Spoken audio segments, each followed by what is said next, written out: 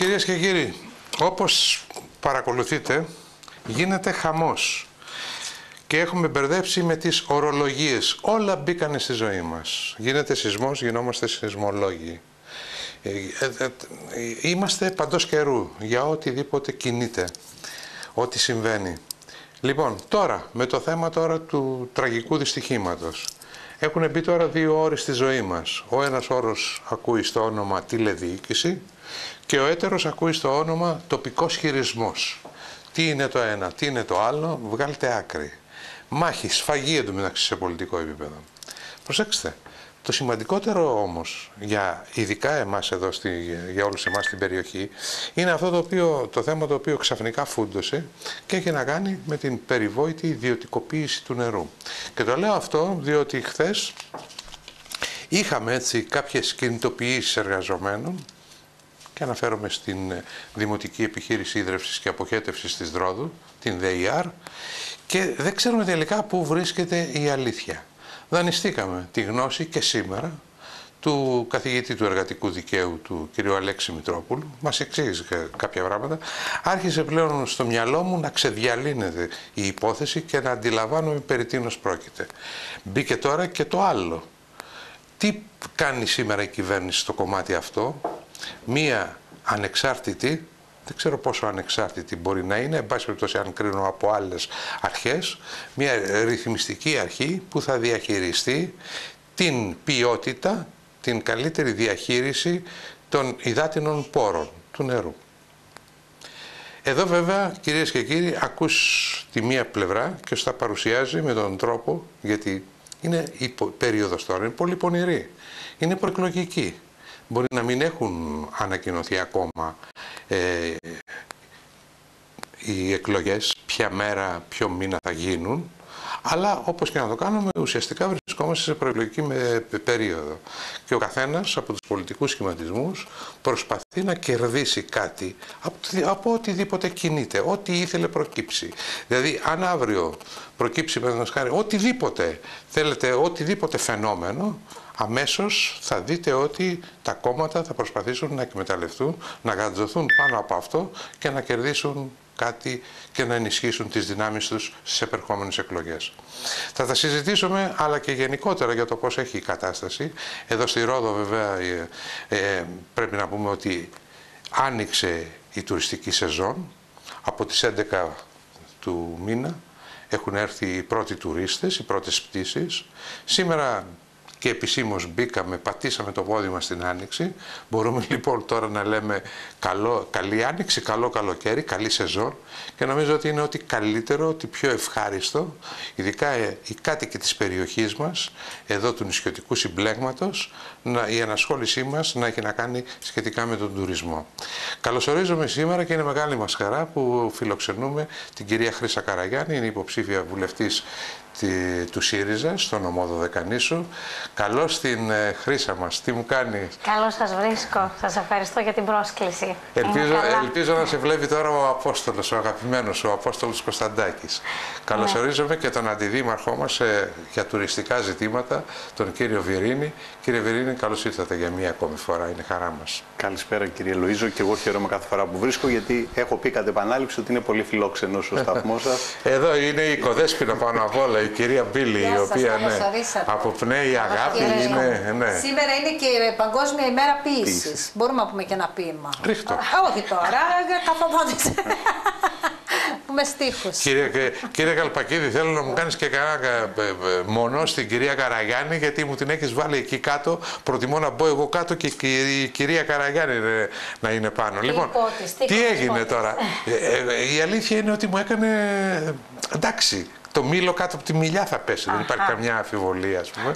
Αλλά έτσι δεν περίμενα ότι θα σε έβλεπα και αμέσως με τη μία στο ψηφοδέλτιο και να διεκδικείς μία θέση στο Εθνικό μας Κοινοβούλιο.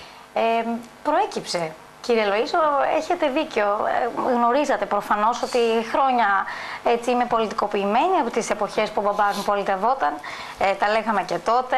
Βέβαια, περισσότερο με γνωρίζετε μέσα από το κομμάτι της επιστήμης μου, της διαιτολογίας. Και γι' αυτό αναφέρατε τον κύριο διαιτολόγος μου, έτσι, επί μακρόν. Απλά και στο σταθμό μιλούσαμε για διατροφή τόσα χρόνια με τον κύριο Κωνσταντάκη. Ε, που τον Ω, αναφέρατε παντός πριν. καιρού ήσουνα. Ήμουν. Μιλούσε για οτιδήποτε. Ε, Ε, μέσα από το χώρο λοιπόν της αριστεράς και του ΣΥΡΙΖΑ χρόνια ε, στην ομάδα εργασίας, στην πίσω ομάδα, στα παρασκήνια, ε, κάποια στιγμή προωθήθηκε η θέση μου. Και ως γυναίκα, γιατί όπως Α, μετράει και γνωρίζετε- αυτό, ε. Έτσι, ναι, αλλά όπως μισό λεπτό. γνωρίζετε, Αν, μου αναφέ... είμαστε ένας αν χώρος- αναφέρεσαι στην ποσόστοση, προσέξτε. Εδώ τώρα ε, το είχε, σου το είχε πει κάποιος νεκταρία, δεν θυμάμαι τώρα, σε μια συζήτηση. μαζί από τους- ήμασταν την ημέρα Με της τη Χρύσα ήταν. γυναίκας. Βεβαίως, ναι, να όλη μην είναι η την ποσόστοση δημοκρατία μόνο εδώ. στην υποψηφιότητα, αλλά και στην Αυτό. εκλογή. Να υπάρχει Ακριβώς. ποσόστοση. Εσύ το είπες. Εγώ το είπα. Ήταν πολύ σοφό. Ακριβώς, ότι δεν είναι μόνο αυτό και ότι δεν βρισκόμαστε εκεί λόγω ποσόστοσης. Απλά είναι μια αλήθεια ότι η γυναίκα λόγω του, του πολύπλευρου ρόλου που έχει στην κοινωνία. Κινητροδότη, ένα Έτσι, κίνητρο. είναι πρώτον, να- αλλά είναι να και πιο προωθήσει τη δύσκολο για μια γυναίκα. μάνα, για μια ε, εργαζόμενη που έχει να κάνει και χίλια δυο, να αφιερώσει το χρόνο που απαιτείται για να μπορέσει να διεκδικήσει αυτή τη θέση πια ε, μέσα στην πολιτική ζωή του τόπου. Είναι, είναι λίγο δύσκολο. Ε, παραμελεί άλλα κομμάτια και γι' αυτό λοιπόν ε, ο ΣΥΡΙΖΑ είναι ένας χώρος που, που έχει νιώσει ότι πρέπει να, να δώσει τη στήριξη για να προχωρήσουν οι γυναίκες μπροστά. Έχουμε πολιτικές θέσεις, έχουμε ένα μυαλό διαφορετικό από αυτό το δικό σας, ε, πλάι στο δικό σας βασικά, αλλά μπορούμε ε, να σκεφτόμαστε με νοικοκυροσύνη, ε, με έναν τρόπο τέτοιο και νομίζω ότι είμαστε κι εμείς χρήσιμες σε αυτό το χώρο εκεί που χορεύετε. Έχω Γύρω την μας. εντύπωση πάντως ότι αδικεί γενικώς στο γυναικείο φύλλον, κύριε Βιρίνη, αυτή η υποχρεωτικότητα μέσα από την λεγόμενη ποσόστοση. Και το λέω αυτό διότι μια γυναίκα που θέλει να πολιτευτεί σε οποιοδήποτε, είτε στην αυτοδιοίκηση είτε σε εθνικό επίπεδο, θα μπορούσε να το κάνει χωρίς να το υποχρεώνει κανείς. Αλλά αυτή η υποχρεωτικότητα δημιουργεί κάτι το οποίο, αυτό, μια, μια εικόνα η οποία δεν είναι ευχάριστη στην εκταρία μου. Δηλαδή, με το να είμαστε έχει υποχρεωμένοι να δική μπουν ανάγνωση, γυναίκες μέσα ναι. στη- στο ψηφοδέλτιο, μπαίνουν πολλές φορές γυναίκες οι οποίες ε, για χι λόγους δεν εισπράττουν αυτό το οποίο δηλαδή και έρχεται η κατάταξη να είναι χαμηλή. Και δεν χτυπάει, αδικεί το γυναικείο φύλλο. Πράγματι. Γενικώς. Πράγματι, Και είναι- αδικεί γενικότερα και την υποψηφιότητα Και πάνω δεν- σε αυτό που το θέτεις πάρα Συγγνώμη, πολύ. είναι νεκταρία μου. Δηλαδή, με συγχωρείς πάρα πολύ. Ναι. Ισότητα πλήρης. Ναι, Υπάρχει ναι. αλίμονο. Για, Ναι. για όνομα του Θεού. Αλλά γενικότερα αυτό το θέμα έχει διτή ανάγνωση, γιατί ξέρετε κάτι... Ενώ αν ήταν η ποσόστοση ως προς την εκλογή, όχι την υποψηφιότητα, στην εκλογή, στην τελική δηλαδή, εκεί θα αυτό. βλέπαμε πολλές χρήσει Καραγιάννη να ήταν υποψηφίες. αυτό, αλλά έχουμε Γιατί το δει- έχουν στο αίμα τους, γιατί θέλουν να πολιτευτούν. Βλέπουμε και το άλλο όμως. Γυναίκες να εκλέγονται και να μην αξιοποιούνται ενώ Και θα αυτό. μπορούσαν Α, να καλά, ναι, αποδώσουν ναι, τα ναι, ναι, μέγιστα ναι, ναι, και τα δεν το συζητάμε. βέλτιστα. Τι λέτε, Ναι. κύριε Φύση, Βερίνη, Λέω πάνω σε ότι αυτό. έχετε απόλυτο δίκιο, σωστά το θέτετε. Η φύση της γυναίκας είναι multitasking, μπορεί να κάνει ταυτόχρονα πολλές λειτουργίες. Ε, αφετέρου είναι πολύ οργανωτική ε, και δεν είναι τυχαίο το γεγονός ότι ε, πίσω από κάθε μεγάλο άντρα βρίσκεται πάντα μια πολύ ε, άξια γυναίκα. Έτσι δεν είναι τυχαία αυτή η Τώρα ρίση. αυτό που κολλάει. Όχι συνήθως. Αυτό κολλάει- Πάντα. αυτό Πάντα κολλάει- το αυτό συνήθως κολλάει- έχει καταρριφθεί, Δεν υπάρχει συνήθως. Αυτό κολλάει ότι από Πίσω την από κάθε αρχαιότητα. μεγάλο άντρα Ακριβώς, είναι αυτό, μια αυτό γυναίκα. θέλω να πω με αυτό, ότι από την αρχαιότητα υπήρχαν σπουδαίες γυναίκες οι οποίες δεδομένης της ε, πατριαρχίας που υπήρχε, εν πάση περιπτώσει, ήταν στο παρασκήνιο, ενώ θα έπρεπε να είναι στο προσκήνιο. Δίνεται λοιπόν η δυνατότητα με αυτό το, ε, το κίνητρο, όπως είπε η αγαπητή Νεκταρία, να βγουν οι γυναίκες μπροστά, γιατί να μην πάμε αύριο μεθαύριο σε μια διαδικασία η οποία δεν θα, κα- δεν θα ε, δώσει θέσεις ποσόστοσης στην εκλογή όπως αναφέρατε, αλλά θα καταξιώσει τις γυναίκες. Δεν είναι τυχαίο το γεγονός ότι και στην Ευρώπη δύο με τρεις γυναίκες οι οποίες ανέλαβαν ηγέτιδες σε μεγάλα ευρωπαϊκά κράτη άφησαν εποχή. Ναι, Έτσι. ναι, και στην ναι. Αγγλία και στη Και στην Γερμανία. Αγγλία και στη Γερμανία, Δεν βέβαια. είναι τυχαίο. Στην το Τα γεγονός. Αγγλία, ναι, έχουν μείνει τώρα και η Μέρκελ στη Γερμανία και η Η Θάτσερ. Θάτσερ. Ακριβώς, Λοιπόν, ακριβώς. ε, και αν παρακολουθούσατε κύριε Βιρίνη την εκπομπή μας εδώ που ήταν εκπομπή αφιέρωμα στη γυναίκα την 7η Μαρτίου και η αναφορά σας στην αρχαιότητα την κατέριψε ο Σπύρος ο Όντως, Σιρόπουλος, όντως, ναι, έτσι. ναι, ναι. Και στην αρχαιότητα δεν ήταν πατριαρχία, μητριαρχία. Τι λέτε ήταν- κυρία Καραγιάννη, τι λέτε; Εγώ θέλω να πω ότι ακριβώς γι' αυτό το λόγο είμαστε κάποιες γυναίκες και κυρίως στα Δωδεκάνησα είμαστε, νομίζω, άξιες. Εγώ και οι συνοψηφιέ μου. Πότε θα έχουμε Ε, το ψηφοδέλτιο του ΣΥΡΙΖΑ; το Γιατί τελικό. λέτε τώρα για γυναίκε, εγώ δεν, δεν ξέρω το τελικό ψηφοδέλτιο ποιο Ε, είναι. αν μας πούν και πότε θα είναι εκλογές, ε, κυβέρνηση, τότε θα, θα αποκαλύψουμε κι εμείς το τελικό μας ε, Γιατί το σχήμα. κρατάτε κρυφό δηλαδή; Όπως κρατιέται κρυφό το πότε θα γίνουν αυτές οι Δεν θα έχουμε εκλογές. κάποια έκπληξη, μας λέτε, πιο μεγάλη από τη δική σας; Α, έτσι. Ε. Ε, όχι, όχι. Ε, δεν κρατάμε καμία έκπληξη. Απλά είναι μέσα σε- σε αυτή τη δεδομένη ας πούμε, διαδικασία το ότι έχουμε ε, μια τελική ημερομηνία μέσα στην οποία μπορούμε ακόμα να, να κάνουμε τη ζυμώση μας και να κάνουμε όλες αυτές τις διαδικασίες μέχρι να έρθει αυτή η στιγμή. Δεν, δεν, δεν μιλάμε για ας πούμε, εντυπωσιασμού κινήσεις, Θα είναι αλλά για ο, πραγματικές. ο πρόεδρος σας ε, υποψήφιος στο Δωδεκάνησα. Αυτό τουλάχιστον ε, λέει η Δεν ειδησιογραφία, υπάρχει το μια ρεπορτάζ. τελική κουβέντα που εγώ μπορώ να σας πω. Ε, απλά πραγματικά νιώθουμε ότι έχοντας χάσει τον άξιό μας σύντροφο αείμνηστο νεκτάριο Σαντορινιό, ε, μπορεί μόνο από τον πρόεδρό μας να αντικατασταθεί Για η θέση συμβολικούς του. λόγους, ε. Συμβολικούς και βέβαια γιατί είναι μια περιοχή που έχει τόσο μεγάλη αξία να είναι ένας ε, άνθρωπος Βέβαια έχει και τα ελληνικός καλά αυτό που λες τώρα κυρία Καραγιάννη που λέτε, αλλά έχει όμως και, τε- και ένα αρνητικό δίκτυο. Εγώ θυμάμαι παλιότερα κύριε Βιρίνη, ε, όταν ήταν υποψήφιος εδώ, ο, όχι ο Παπανδρέου, ο Καραμανλής, ο οποίος ήταν και στη Θεσσαλονίκη και στην ε, Δωδεκάνησο και γινόταν χαμός. Η εντωμεταξύ ο Κώστας Καραμανλής, θα το θυμάμαι, είχε αργήσει πολύ ας πούμε να δηλώσει ποια θέση θα Κρατήσει. Ναι, και το να ίδιο το- συμβεί και από τον Παπανδρέου όταν Αλήθεια. και, πήρε με, τη και θέση το του Παρασκευά, Παρασκευά. ναι. Αλλά θυμάμαι την περίπτωση του Καραμαλή, γιατί δεχόμουν τηλεφωνήματα από ένα φίλο μου από Θεσσαλονίκη που ήταν υποψήφιος και είχε, ήταν πρώτος. Δεν ήταν στη θέση που αν ο Καραμαλής έπαιρνε της Θεσσαλονίκης, έμενε Ήταν εκτός αυτό. εκείνος. Και έλεγε πώς θα γίνει να πάρει τις δωδεκανή σου; λέω, μακάρι να ήταν του χεριού μου, λέω, να είχα αυτή τη δυνατότητα. Θέλω να πω δηλαδή, ε, δημιουργείται και μια τέτοια. Αλλά δεν νομίζω όμως ότι ο Τσίπρας εσείς καλά κάνατε και το ζητήσατε έτσι για να τιμήσετε τη μνήμη και, την, Ο και το ίδιος. κενό που αφήνει Και ο ο, ίδιος Νεκτάριος. το Ο, ο ίδιος το δήλωσε. Ο Ε, ίδιος ναι, το αλλά δήλωσε ο προηγουμένως ίδιος όμως ότι θα κάποιοι είναι του το υποψήφιος. είπαν. Α, Εμένα δεν λέει. ξέρω. Ναι. Κάποιοι του το είπαν. Εν πάση περιπτώσει Για όμως, να τώρα το ό,τι και λέτε να, εσείς. όπως και να έχει το πράγμα, ναι. Εμείς λέμε κάτι άλλο, αλλά Ναι. τέλος πάντων. Ε, ε, νομίζω ότι είναι το τελευταίο που μας νοιάζει αυτή τη στιγμή. Ε, σίγουρα αυτή τη στιγμή δίνουμε ένα μεγάλο αγώνα. Κόντρα σε όλα αυτά τα που προκύπτουν σε συναστηματικό επίπεδο, νομίζω ότι βρισκόμαστε πραγματικά φορτισμένοι όλοι και από το χαμό του, του νεκτάριου του Σαντορινιού, αλλά και μετά από όλα όσα προέκυψαν ε, με το χαμό τόσων ανθρώπων, συνανθρώπων και νέων ανθρώπων και όσοι είμαστε γονείς μπορούμε να αντιληφθούμε πόσο έχει επηρεάσει ε, την ψυχολογία μας όλο αυτό. Και έρχονται και άλλα, δηλαδή όπως είπατε για την ιδιωτικοποίηση του νερού, δηλαδή έρχονται να φορτίσουν αυτή την κατάστασή μας το ένα μετά το άλλο, καταστάσεις που ακριβώς μα- μας κάνουν να αγωνιζόμαστε ακόμα με περισσότερο, με περισσότερο πάθος για να αλλάξει αυτή η κατάσταση στην οποία βρισκόμαστε. Έχουμε τον ε, αρμόδιο υπουργό της κυβέρνησης, τον κύριο Σκρέκα, ο οποίος ε, κατηγορηματικά λέει ότι σε καμία περίπτωση δεν ιδιωτικοποιείται το, το νερό. Το νερό είναι δημόσιο αγαθό και δεν ιδιωτικοποιείται. Και αν ε, όντως έχει βάση αυτό το οποίο λέει ο mm κύριος Κρέκας, διαρωτώ με προς τι όλος αυτός ο θόρυβος, κυρία Καραγιάννη. Και γιατί τότε πήγε στον, ε, στη, στην ε, Βουλή προς ε, ψήφιση αυτό το νομοσχέδιο; Κάτι δεν λέγεται ε, αληθώς. Λοιπόν, έτσι. το νομοσχέδιο αυτό προβλέπει την ε, δημιουργία μιας ανεξάρτητης αρχής. τη Η ΡΑΕ, λεγόμενη- η ΡΑΕ γίνεται... το αντίστοιχο, ναι, το αντίστοιχο της ΡΑΕ. Η ΡΑΕ. Η ΡΑΕ Γνωρίζετε Υδάτων κάποιες υδάτων λεπτομέρειες και- πάνω σε αυτό το υδάτων θέμα; και Αυτό ακριβώς. Κύριε Βερίνη, έχετε κάποια γνώση πάνω σε αυτό το αυτό θέμα; που διαβάζω και εγώ, γιατί όλοι είμαστε στην ανάγνωση του Μην έχετε νομοσχεδίου. εμπιστοσύνη στα δημοσιεύματα, γιατί τα δημοσιεύματα το ένα διαψεύδει το άλλο. Δεν έχω Και οι εμπιστοσύνη. δηλώσεις πραγματικά όπω δηλαδή. προαναφέρατε, η Ναι. μία διαψεύδει την άλλη. Εγώ απλώς παρακολούθησα χθες Βουλή, γιατί την ώρα που γινόταν ε, από την άλλη μεριά η συνεδρίαζε η Επιτροπή Θεσμών και Διαφάνειας της Βουλής και ήταν στο web TV της, ε, στο διαδίκτυο η συζήτηση, το κανάλι της Βουλής είχε τη συζήτηση για το νερό. Εγώ παρακολουθούσα το νερό. Με ενδιέφερε πάρα πολύ γιατί είναι κάτι που έχει άμεση σχέση και.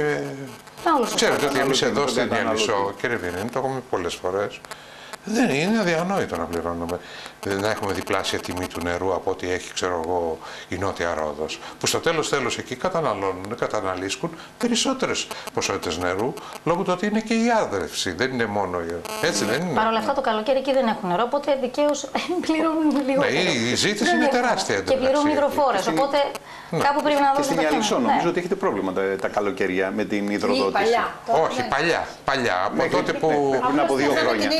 Την Το, είδα απ- στις μετά με το μοντελικές φράγμα του φορές. Γαδούρα τελείωσε. Από τότε που έχει δοθεί στην. Έληξε το θέμα. Δεν υπάρχει καμία διακοπή στο Καλά, συνέδριο. αυτό είναι θέμα Υπάρχει, τιμολογιακής υπάρχει. πολιτικής κοινής Δι- Εννοώ δηλαδή δεν υπάρχει κάποια βλάβη κτλ. Ε, ξέρετε, δεν- δεν, δεν ε, αξιοποιείται Εδώ στην το νερό. περιοχή, σε εμάς τουλάχιστον. Α, σε εσάς. Γιατί στην Νότιο Ρόδο που λέτε, ε, δεν αξιοποιείται το νερό από τα... Τώρα μεταφέρεται το νερό εκεί, δρομολογείται. Ευχόμαστε. θε- ε, Ευχόμαστε. μέχρι το καλοκαίρι θα είναι Αρχάγγελο και Αφάντου. Υπήρχε αυτή η διαβεβαίωση από πλευράς Δημοτικής Αρχής και από ό,τι μας έλεγε και ο κύριος Χατζημάρκος, ο Περιφερειάρχης. Και ε, ε, εκτιμάται ότι μέχρι το τέλος ε, του 23, 24, ε, 23, θα έχει φτάσει ναι. και το νερό, Λίνδο Όσο και τα είναι λοιπά. 23, ναι. Με Να νότια ευχηθούμε. Ρόδο. Ναι. Για να δούμε. Για να δούμε. Λοιπόν, ε, προσέξτε τώρα, πάνω σε αυτό το θέμα, κύριε Καλπακίδη, δώστε μου τον κύριο Μητρόπουλο, είναι δύο λεπτάκια, για να ίσως αποτελέσει ε, τροφή προς συζήτηση. Τι μας είπε ακριβώς για αυτό εδώ το θέμα; Και το χρωστάω άλλωστε, μου το ζήτησαν και κάποιοι εργαζόμενοι μέσα από τη ΔΕΙΑ, ήθελα να ακούσουν ακριβώς τι ακριβώς είπε ο κύριος ε, Μητρόπουλος. Ελάτε παρακαλώ. Τι επιχειρείτε τώρα για να είναι κατανοητό διότι ξέρω την εμβέλειά σας, την εγκυρότητά σας. Επιχειρείτε να παρακαυτούν οι αποφάσεις του Συμβουλίου Επικρατείας που το ξεπούλημα από την κυβέρνηση ΣΥΡΙΖΑ με τους νόμους που ανέφερα και αναφέρει και ο- Ναι. το εφημερίδα του Συντακτών σήμερα. Αλλά έχουμε και εμείς ανάρτηση στην ΕΝΙΠΕΚ επειδή χειριστήκαμε το θέμα κατά των νόμων του ΣΥΡΙΖΑ Μάλιστα. να κρυθούν αντιδρομικοί. Και είναι ένα σημείο τριβής όταν ήμουν βουλευτής με τον κύριο Τσίπρα όταν είδα στη σελίδα σας είπα του τρίτου μνημονίου Μάλιστα. ότι δεν μπορούμε να ξεπουλάμε τρένα μεταφορές και νερά της κατά αριστερά. Του είχα πει τότε σε μια κατηδία συζήτηση ας διαγραφεί η λέξη που είπα ως καθηγητής δεν πάει να τα λέω. Είπα αυτή την έννοια λοιπόν. Ήρθε το Συμβούλιο Επικρατείας έκρινε ότι είναι αντισυνταγματικές οι μεταβιβάσεις των μετοχών όλων, όλων Όλων. και της Θεσσαλονίκης και των Αθηνών εννοώ του νερού και τώρα επιχειρείται επί, υπό την πίεση των δανειστών διότι εδώ έχουν λόγο οι δανειστές, δεν διανοούνται να μην ιδιωτικοποιηθεί το νερό οι δανειστές, γι' αυτό επαναφέρει η κυβέρνηση το ζήτημα, παρά το ότι το ανώτατο ακυρωτικό είπε stop, μην παίζετε με το νερό, μην παίζετε με το ζωτικότερο δημόσιο Μάλιστα. αγαθό. Μάλιστα. Πολύ απλά πράγματα, Κλεάνθη. Ερώτηση. Πολύ απλά πράγματα. Γιατί έγινε το 15 και δεν έγινε το 13 ή το 14 ή το 12. γιατί υπήρχε πίεση μέχρι τότε αλλά δεν ήταν και στις προτεραιότητες των δανειστών. Φαίνεται βρήκαν εύκολους την τρίτη και την κυβέρνηση, την την προηγούμενη κυβέρνηση και επέβαλαν τις ιδιωτικοποιήσεις των αγαθών που ανέφερα ενέργειας, Γι' αυτό, μεταφορών, γι αυτό φύγατε, μεταφορών και για- νερού. Γι' αυτό φύγατε από τον ε, ΣΥΡΙΖΑ κύριε Εντάξει, καθηγητά. ήταν, και αυτός ο εύκολη λόγος. δηλαδή. Ήτανε, ή- ή- δεν μπορούσα να ψηφίσω εγώ με φυλακίσει ω μαθητής στη Χούντα, Μάλιστα. με φυλακίσει Μάλιστα. ω φοιτητής. Να Να, ψηφίσετε καταργήσω το, να καταργήσω το ΕΚΑΣ. Να παίρνω 5 και 6 χιλιάδες μισθούς βουλευτές που παίρνουν οι βουλευτές του ΣΥΡΙΖΑ και οι δικοί σας που ψηφίσανε Ναι. το ΕΚΑ- την κατάρριξη του ΕΚΑΣ. Και να καταργήσω το ΕΚΑΣ είχα λόγο κλεάνθη. Έλα, Είχα μου. λόγο να, να, να φορτώσω 12 χρόνια στη, στη συνταξιοδότηση των γυναικών να παραμένουν οι Ελληνίδες 12 χρόνια επιπλέον για να πάρουν ποια σύνταξη να πάρουν. Ε, αυτά δεν μπορούσα.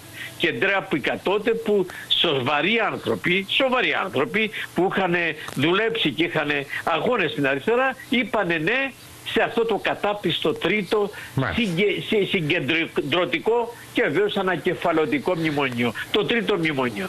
Άρα λοιπόν καλούμεθα όλοι να λέμε την αλήθεια στον κόσμο και παραλαμβάνω που με μεγάλη απορία επειδή σήμερα έχω μιλήσει σε αρκετά μέσα και βεβαίως με θυμάται και εσείς τώρα Να είστε και καλά, σας ήθελα να ήμουν ενημερωμένος για τις τελευταίες πρωτοβουλίες της κυβέρνησης με χαρά είδα μια αντικειμενική περίληψη αυτού που συζητάμε Στην τώρα εφημερίδα των Συντακτών, με λοιπόν, τίτλο- σήμερα- με τίτλο, με τίτλο Χαστούκι στε για το νερό και το Χαστούκι είναι Κατάλαβα. επειδή το στε έχει πει stop με το νερό αλλά κρίνοντας αντισυνταγματικές τις διατάξεις των νόμων ΣΥΡΙΖΑ. Το λέει αυτό η εφημερίδα ότι Το έγινε ο νόμος... Το δεκα- δε- λέει, Ναι. λέει 16 και 18. τα Δεκα- λέει. δεν, τα λέει, το, τα δεν λέει μέσα κυβέρνηση ΣΥΡΙΖΑ, αλλά 16 και 18 η κυβέρνηση Ε, ΣΥΡΙΖΑ. Αυτό έβαλε. ψάχνω να το βρω και δεν το βρίσκω. Ε, ναι, δεν το λέει το βλέπω. Εντάξει, τι να κάνουμε τώρα. λοιπόν, εντάξει, να κάνουμε και το καθήκον μας ως εφημερίδα που πρόσκειται σε, σε συγκεκριμένο πολιτικό χώρο. Κυρία Καραγιάννη, Δεν- όπως δεν- καταλαβαίνετε τώρα, Κλείσω, όπως ε. καταλαβαίνετε τώρα εδώ, εγώ ακόμα έχω, ε, κύριε Βιρίνη, κάποιες αμφιβολίες, γιατί δεν γνωρίζω ποιος είναι ο ρόλος αυτής της ρυθμιστικής αρχής. Υπάρχει μια, ε, μια ε, νεφελώδης, να το πούμε έτσι, εικόνα, δεν έχει ξεκαθαριστεί.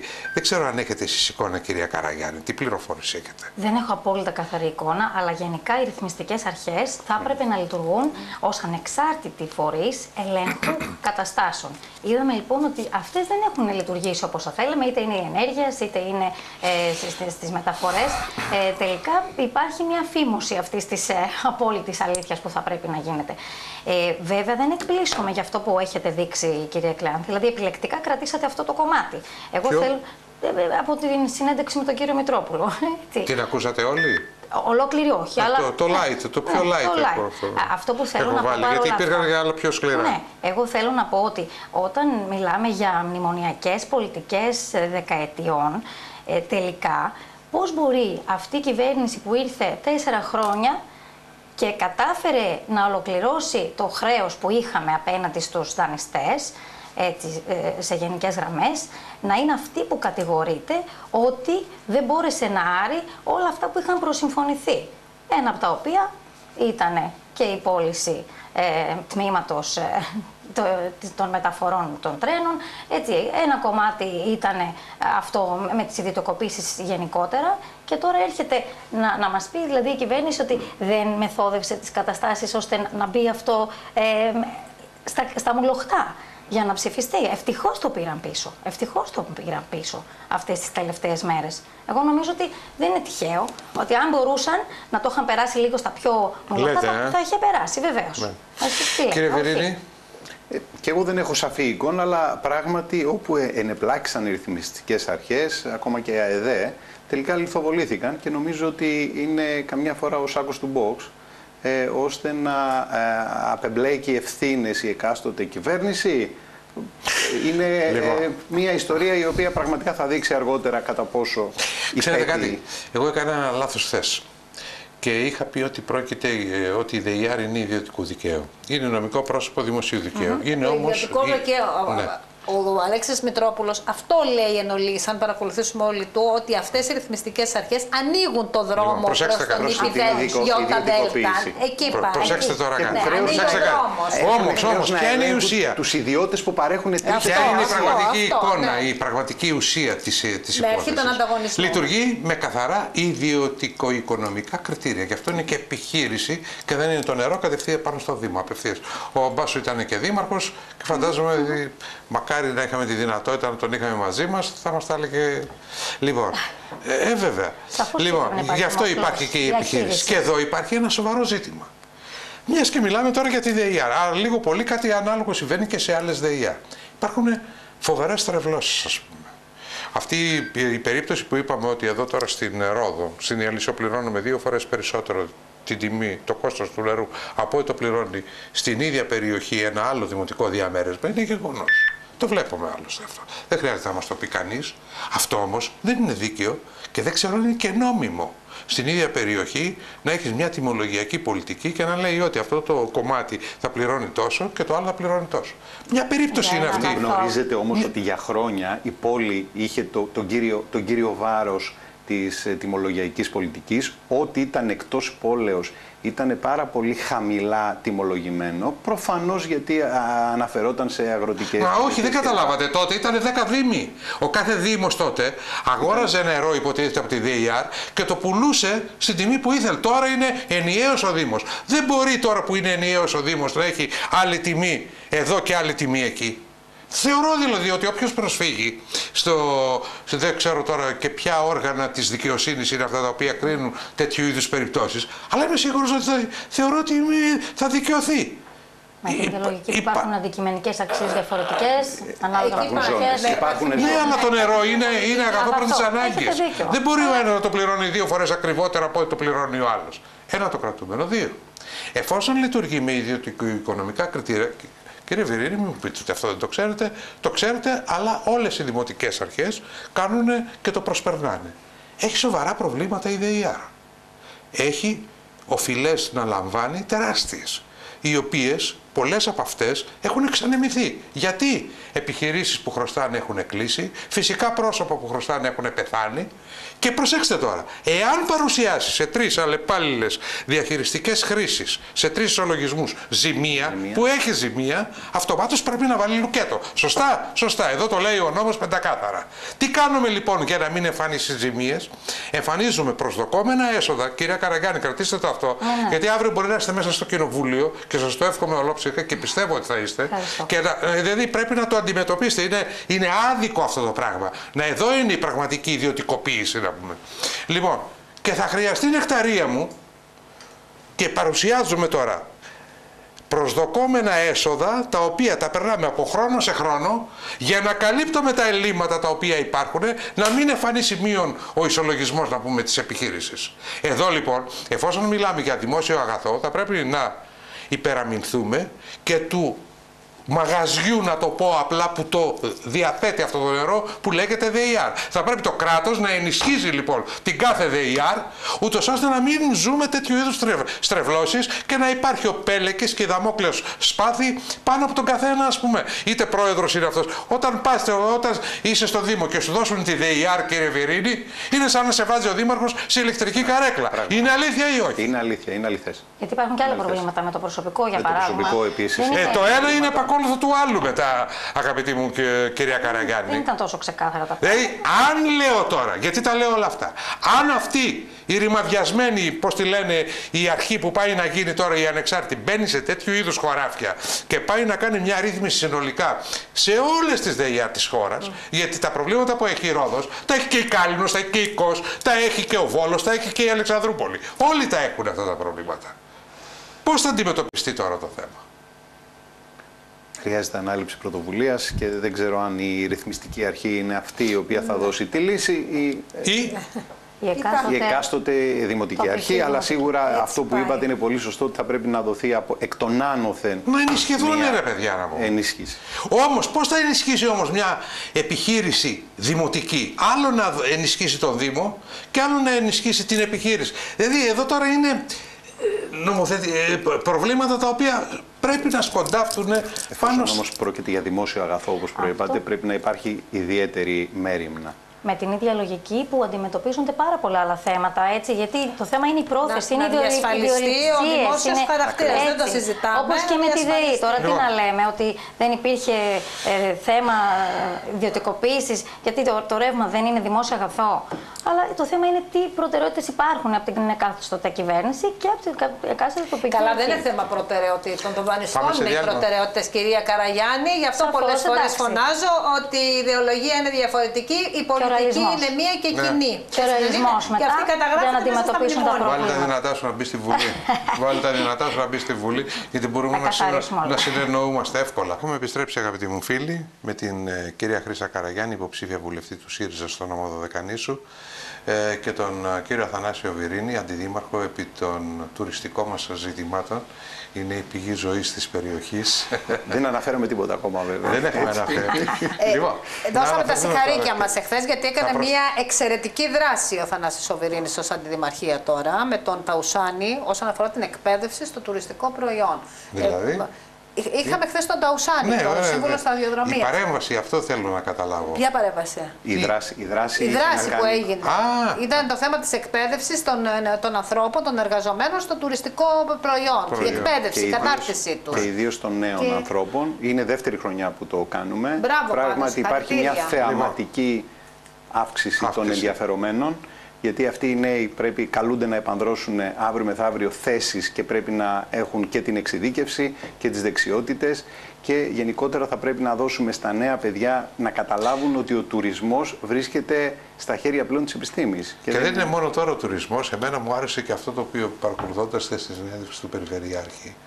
με τον ε, ΣΕΟ της ΣΥΣΚΟ και είδαμε έτσι για τους ε, νομάδες, τους Ψηφιακούς ψηφιακούς νομάδες, ναι. κτλ. Όταν μας τα Digital έλεγε ο nomades. συνάδελφός σας, ο κύριος Ταρασλιάς, φαινόταν λίγο, νεκταρία μου, μας φαινόντουσαν λίγο εξωπραγματικά αυτά τα πράγματα και βλέπουμε τελικώς ότι δρομολογείται πολύ όμορφα και το γεγονός ότι επιλέγουν τη Ρόδο, ε, είδα ότι η, Σι- ε, η ΣΥΣΚΟ, ε, η, ε, καλά τη λέω, Ναι, ναι, Σίσκο. Πολύ καλά, Cisco, σωστά το ναι. λέτε. μετά τη Μάλτα δίνει μεγάλο βάρος στη Ρόδο. Σωστά. Α; Και έχουμε ετοιμάσει και μια μελέτη. Να ξέρετε ότι η Ρόδος έχει το μοναδικό παρατηρητήριο στην Ελλάδα ψηφιακών ομάδων. Ναι. Επομένως, έχουμε ετοιμάσει σαν Δήμος μια μελέτη την οποία θα παρουσιάσουμε. Αυτά είναι ωραία πράγματα, κυρία Ο, ο Καραγιάννη. Δήμος Και Ρόδου εδώ- την ξεκίνησε Α, και ας αυτή είναι πρώτη. Και Την εδώ έχουμε δεν χωράει, παρουσιάσει εδώ και νομίζω, δύο χρόνια. αντιπολίτευση. Όχι Σωστά. βέβαια. Έτσι δεν Έτσι. είναι, μαζί με το, και ο τεχνίτης και ο Μιχάλης ο Μαντικός Μπράβο, που ναι, δουλέψει μπράβο. εσύ. Λοιπόν, θα προσθεθείς Εμένα στη μου άρεσε συντροφιά τα μας. Ουσάνης εχθές που είπε ότι είναι μια καινοτομία της Ρόδου. Πάλι ο Δήμος της Ρόδου είναι μπροστά. Θα προσθεθείς στη Μπράβο. συντροφιά μα Μπράβο. ο βουλευτή της Αποδοτικά, Νέας αποδοτικά, Δημοκρατίας, ο κύριος Γιάννης Παπά. Τι λέτε, κύριε Παπά, θα είστε συνάδελφοι στο επόμενο κοινοβούλιο με την κυρία Καραγιάννη; Πώς θα βλέπετε τα πράγματα; Καλησπέρα, καλησπέρα. Εγώ να της ευχηθώ καλή επιτυχία. Δεν έχει ένα δύσκολο δρόμο μπροστά της. Ε, Το καλή επιτυχία είναι πάντως εύκολο να μετράει, είσαι- αυτό που είπατε. Ναι. Ευχαριστώ Ναι. κύριε Δεν Παπά, είναι να είστε εύκολο. καλά. Να είσαι καλά. Δεν είναι εύκολο να είσαι βουλευτής στην Δωδεκάνησο. Ξέρετε, έχει τεράστιες ευθύνες, είναι ένα τεράστιο βάρος και είναι ένας καθημερινός αγώνας. Είναι ένας μαραθώνιος. Είναι ένα κατοστάρι Ε, καθημερινό. τι λέτε, ότι δεν θα το γνωρίζει η Χρήσα, δεν θα το γνωρίζει από το Σάββατο, ο πατέρα της, ας πούμε, που Όχι, και αυτός δεν ως λέω. περιφερειάρχης τράβηξε, όργωσε και ως νομάρχης και ως βουλευτής. Ήταν και βουλευτής ένα διάστημα.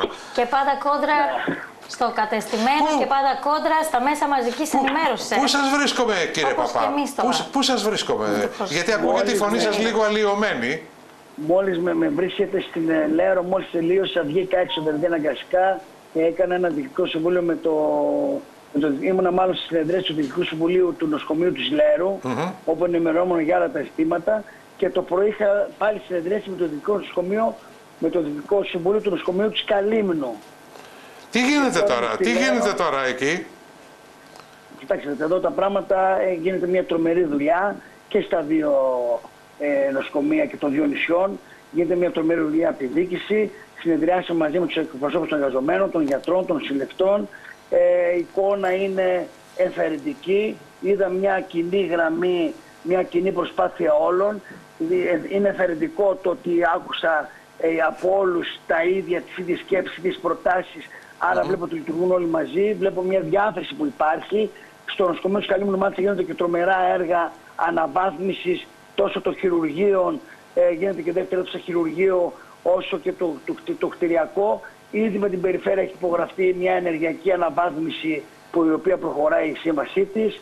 Τώρα στο νοσοκομείο της Λέρου το ίδιο βλέπω μια, ένα τρομερό έργο που γίνεται γιατί ξέρετε η Λέρου έχει μια τεράστια περιουσία το νοσοκομείο σε κτηριακή έχει 60 κτίρια τα οποία τα περισσότερα είναι εγκαταλειμμένα και αρχίζουν και μπαίνουν σε μια λειτουργία να τα φτιάχνουν και τα αναβαθμίζουν.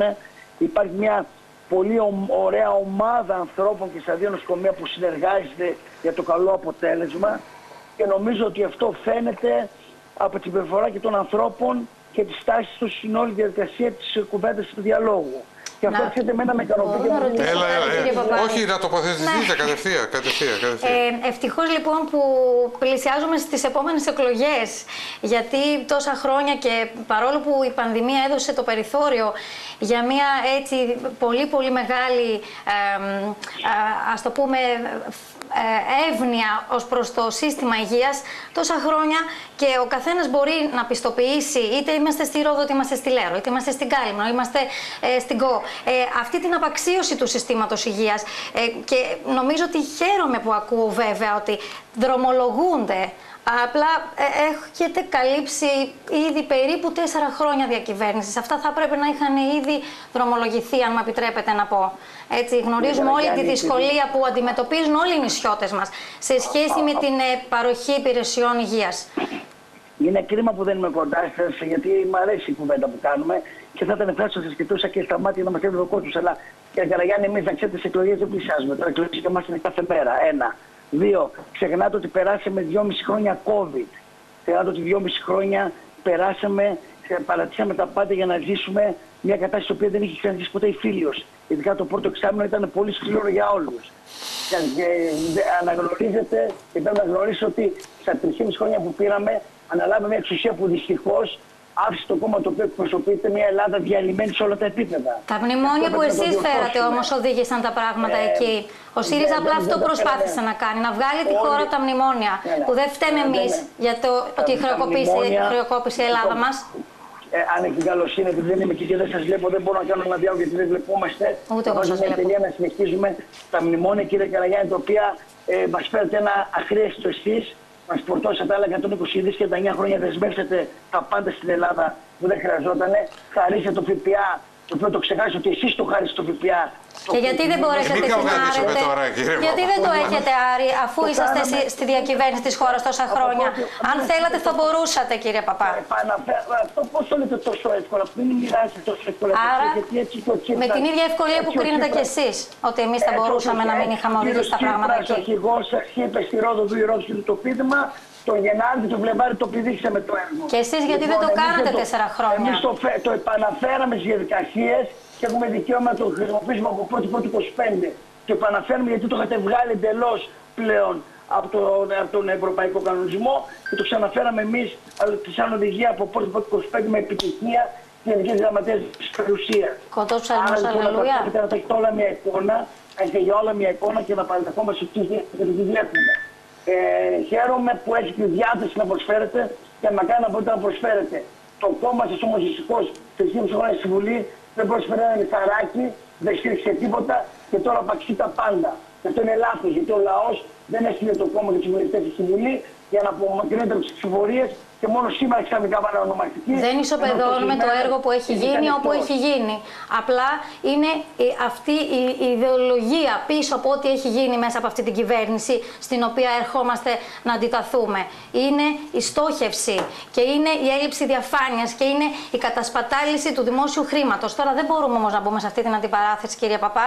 Εγώ σας εξέφρασα Ε, με την, συζητήσατε. την ε, χαρά Δεν μου που υπάρχει. ακούω ότι δρομολογούνται πράγματα στην, ε, στην εκπνοή τέλος πάντων της διακυβέρνησής σας. Δεν είναι συνεχόμενο, είναι συνεχόμενο αυτό το έργο. Για να ξέρετε δούμε. τι γίνεται. Να το γνωρίζετε. Μπορείτε να τον ενημερωθείτε για τα πάντα. Είναι συνεχόμενο, είναι συνεχόμενη παρουσία, η παρουσία σε όλα τα επίπεδα. Είτε λέγεται παιδεία, είτε λέγεται ασφάλεια, εθνική, είτε λέγεται σύνορα, είτε λέγεται να αντιμετώπιση μεταναστευτικού. είτε λέγεται Ασφάλεια παιδείας, μεταφορών, θέματα ε. παιδείας, εθνικά θέματα, τα πάντα όλα. Τα πάντα όλα, αγαπητοί ε, κύριε Καραγιάννη, βεβαίως τα Ναι. πάντα όλα. Και να γνωρίζετε και να μην μπούμε σε θέματα ούτε να κάνουμε κουβέντες συζυγικών. Ο κύριος Λοΐζος θα μας δώσει το, Ε, τη το δυνατότητα καρφί δεν το μας- πιάσατε όμως που, που σας έριξε η κυρία Καραγιάννη. Το άκουσα μια χαρά και είπα εγώ. Είπα βεβαίως. Ναι, Θα μας δώσει ο κύριος Λοΐζος την ευκαιρία να είμαστε αντιμέτωποι. Να με κοιτάτε και λοιπόν στα μάτια ασφάλεια. και εγώ εσάς. Για να Βεβαίως, μπορέσουμε και να ασφάλεια συζητήσουμε. Για όλους τους πολίτες και να μην εκμεταλλευόμαστε καταστάσει, γιατί εμείς δεν μπήκαμε στη διαδικασία συμψηφισμών και εμείς μπήκαμε στη διαδικασία Αλήθεια, ε. ευθυνών που αναλάβανε άνθρωποι άμεσα. Δεν σκουρσακρέτηκα ούτε στην ανιστηροκρατημένε καταστάσεις. Ε, αναρωτιέμαι ποια ήταν η βασική- Επειδή όλοι, επειδή όλοι Η βασική πονάμε, γραμμή της και προεκλογικής όλοι περίοδου της πονάμε, προηγούμενης δεν ήταν το μάτι άραγε. Εμείς δεν Όλοι έχουμε... πονάμε, όλοι πονάμε και υπάρχουν ευθύνες. Και αυτό το οποίο λέμε εμείς είναι ότι του σκελετού του κράτους του χθες προσπαθούμε να πετάξουμε έξω για να δημιουργήσουμε το κράτος του αύριο. Το οποίο είναι το κράτος Λοιπόν, του ε, όταν θα είστε εδώ, θα Αυτό, έρθετε στο κύριε στούντιο να κάνουμε μια έτσι ουσιαστική και επικοδομητική κουβέντα. Λοιπόν, από εκεί και πίσω, πότε έρχεστε Ρόδο κύριε Παπά, να το προγραμματίζουμε τώρα στον αέρα το ραντεβού. Ε, Κοιτάξτε, είμαι στην Λέρτο, είμαι στην Κασπουδαστία, το τρίμηνο Κάνει και Έχω ένα διακοπές στο πρόγραμμα τηλέφωνο. κάλινο, λέρο πάτμο. Στη Ρόδο θα είμαι μετά τις 6-7 ε, Απριλίου. Απριλίου. Ωραία, θα σας ε, τηλεφωνήσουμε Ωραία. λοιπόν όταν θα μπορεί ο Χαρά. κύριος Παπάς. Ε, θα μας Λοιπόν, έρθει καλό το ταξίδι κύριε Παπά. Θα μας έχει και το Καλά, Πάσχα καλά. τότε. Να είστε καλά, σε ευχαριστούμε Καλά, πολύ. Είμαι Μαζί με τον Βλεξί μου Air. Ναι. Τον κύριο Γαϊτάνο. Λοιπόν, Στα πάθη του Χριστού. τι είπατε; Στα πάθη του Ιησού, λέω. Έχουμε, ναι, παιδιά, ειρήνη ημίν, αγάπη. ε. Αλλήλω, Έχουμε Πάσχα μπροστά μας αλλήλω. και πριν το Πάσχα το, και προηγείται η μεγάλη εβδομάδα. Και εκεί πρέπει να υπάρχει κατάνοιξη πλήρης, όχι καυγάδες προς Θεού. Είμαστε Τώρα και βέβαια στο- εξαρτάται και πότε θα γίνουν εκλογές. Είμαστε και στο Διότι πικ αν, της αν η τουριστικής μεγάλη περίοδου. εβδομάδα είναι στην καρδιά της προεκλογικής εκστρατεία του κάθε υποψηφίου, καταλαβαίνετε ότι Ε, λογικά μεγάλη, ε, ε, ε, Τα η ρίχτερ- Βουλή θα κλείσει Μεγάλη Τετάρτη. Και σύμφωνα με τα λεγόμενα του κυρίου Κακλαμάνη δεν θα ξανανοίξει. Ποιος το λέει, Ο κύριος άμα δεν, Παπαμάνης το αν λέει, δεν ναι. ανακοινωθεί η επισήμω η ημερομηνία. Ε, θα ανοίξει για να ανακοινωθεί για να διαλύσει. Για να διαλύσει τη λαμπροβδομάδα. 30 Έτσι, μέρες δεν πριν. μ' αρέσει. Ή Υπάρχει 40 στο μέρες πριν. μυστικό. Ε, τριά- από 20 μέχρι 30. Από 20 μέχρι Επομένως, 30. επομένως, μετά το Πάσχα Νεκταρία, απευθείας γιατί, πρέπει να γιατί, προκηρυχθούν οι γιατί εκλογές. αποκλείεις το ενδεχόμενο να εξαντλήσει την τετραετία. Το αποκλείω γιατί δεν, Ήταν συμφε- Έλληνες γιατί στη δεν μέση. θα το ρισκάρει ο Πρωθυπουργός να πάει το καλοκαίρι Μα μέσα σε ε, δύο επειδή λόγους. είναι οι διαδικασία. Πανελλήνιες, Για δύο για να λόγους. μην πάει πριν τις εξετάσεις, θα πάει μετά τις Ναι, αλλά εξετάσει. έχουμε Έχει τον πυρκαγιέ τουρισμό, το έχουμε- καλοκαίρι. και έχουμε Έχει και τον- πυρκαγιέ το καλοκαίρι και δεν θα το ρισκάρει κανείς Και να έχουμε πάει και την εν τουριστική- μέσω θέρου. και έχουμε Ε, και την ωραία, ας τουριστική αφήσει την περίοδο. πολιτική Και έχουμε προστασία. και την τουριστική Όπως περίοδο. είναι σήμερα, να μην την πειράξει, να μην πάει σε υπηρεσιακό. Δεν γίνεται. οργανισμό. Δεν μόνο το Υπουργείο Ιστορικών. παρα- Ο Υπουργός Ιστορικών παραμένει. Όλη η Μάλιστα. κυβέρνηση και έχουμε και αντικαθίσταται. την Δεν μένει τουριστική- υπηρεσιακή- Βέβαια, όπω το Υπουργείο υπηρεσιακή Μεταφορών έμεινα κυβέρνηση. κέφαλο, θα μπορούσε. Έτσι, έβαλε τον Υπουργό Επικρατείας. Εσείς τώρα το λέτε ηρωνικά, Ε, λίγο, αλλά εμείς λίγο. μιλάμε συνταγματικά. συνταγματικά απα- ε, διαλύεται η Βουλή και η- η- η- καθίσταται η υπηρεσιακή κυβέρνηση και ο μόνος που παραμένει είναι ο Υπουργός Εσωτερικών για να κάνει τις εκλογές. Επομένως, λοιπόν, γι' αυτό το λέω Είναι κλειάνθη, δύσκολο. είναι εν μέσω θέρους, ε, κατά Τουριστικής καιρούς, περίοδου. πριν ένα, ε, τουριστική Αυτό, περίοδος, επίσης. πριν, ε, δύο, πριν, όχι το προηγούμενο καλοκαίρι, το πιο προηγούμενο είδαμε τι έγινε. Δεν ξέρω, εγώ αν ήμουν πρωθυπουργός δεν θα πήγαινα το καλοκαίρι. Γενικά δεν Λοιπόν. του βγαίνει καλά όπου και να πάει το πρωθυπουργό μας, αλλά τι να κάνουμε. επειδή, Πρέπει να γίνει. επειδή τώρα μου προωθούν τώρα τα μηνύματα τα οποία έρχονται, αυτό και θέλω ό,τι έχει να κάνει με την ε, κυρία Καραγιάννη θα το απαντήσει. Μάλιστα. Είμαι ψηφοφόρος, μας λέει ο Λευτέρης από τη Ρόδο. Μπορεί να μας πει η κυρία Καραγιάννη για ποιο λόγο θα πρέπει να ψηφίσω τον, ε, τον ΣΥΡΙΖΑ και βεβαίως την κυρία Καραγιάννη. Μάλιστα. Εδώ, ελάτε παρακαλώ. Δεν σε διακόπτει The κανείς. point. Ωραία. Λοιπόν, ε, νιώθουμε Κύριε περί... Βιρίνη, συγγνώμη που Ναι, ναι, μονοπολίζω κύριε την κυρία Βιρίνη, Καραγιάννη, είναι σας, ε, ανθρώπινο και μονοπολούμε λογικό. τη- Έτσι. Έχετε Εσείς την- θα είστε τη- και την τη επόμενη συνένεσή ώρα. μου. Έχει Ένα ακόμη μήνα. εκλογή. ε, Μέχρι τον Οκτώβριο ο Βερίνης έχει χρόνο. Καλά, εντάξει. Από καρφί σε καρφί. Εδώ πέρα οι γυναίκες θα μας τρελάνουν, κύριε Βιρίνη. Ε, δεν είναι Ελάτε, κυρία υποψήφιο Καραγιάννη. βουλευτής, Τι; δημοτικός σύμβουλος. Είναι τον Ακριβώς. Οκτώβριο έχει Ναι. εκλογέ. Ε, Τοπική αυτοδιοίκηση Έλα, αγαπητή μου έχασε. Χρήση, σας παρακαλώ. Λοιπόν, εμείς στο ΣΥΡΙΖΑ νιώθουμε περήφανοι, περήφανοι για το έργο που κάναμε εν μέσω τόσων δυσκολιών, ε, οι οποίες λέγονται πολιτική, όπως έχω ξαναπεί, με το πιστόλι στον κρόταφο. Δεν μπορέσαμε να κάνουμε όσα θέλαμε. Σίγουρα, ε, όπως λέγαμε σαν γυναίκες πριν, κυρία Μπίλη, με απόλυτο ρεαλισμό έπραξε ο ΣΥΡΙΖΑ, έσωσε ό,τι σωζόταν και έπρεπε κάτι να θυσιάσει για να μπορέσει να στηρίξει το μεγαλύτερο μέρος των αδυνάμων και όλη η πολιτική που έκανε στηρίχθηκε πάνω σε αυτό. Μέσα σε όλη αυτή τη διαδικασία κάποιοι δεν μπόρεσαν να ευνοηθούν σαφώς όπως ήταν η μεσαία τάξη τότε. Έρχεται όμως η επόμενη κυβέρνηση που όπως έλεγε και στον κύριο Παπά στήριξε την προεκλογική της καμπάνια πάνω στην τιμωρυχία για τους νεκρούς στο μάτι και έρχεται τώρα και μας λέει ότι εμείς ασκούμε τέτοια πολιτική μικρότητας ε, πάνω στα θύματα από τα τέμπη που με όλο το σεβασμό που έχουμε στις οικογένειες και στα θύματα έχουμε εμ, πα- πάρει πίσω ό,τι έχουμε κάνει αυτό το διάστημα, τις δράσεις μας και προσπαθούμε το μόνο να αφήσουμε περιθώριο για να, να βγει στην ε, επιφάνεια η αλήθεια.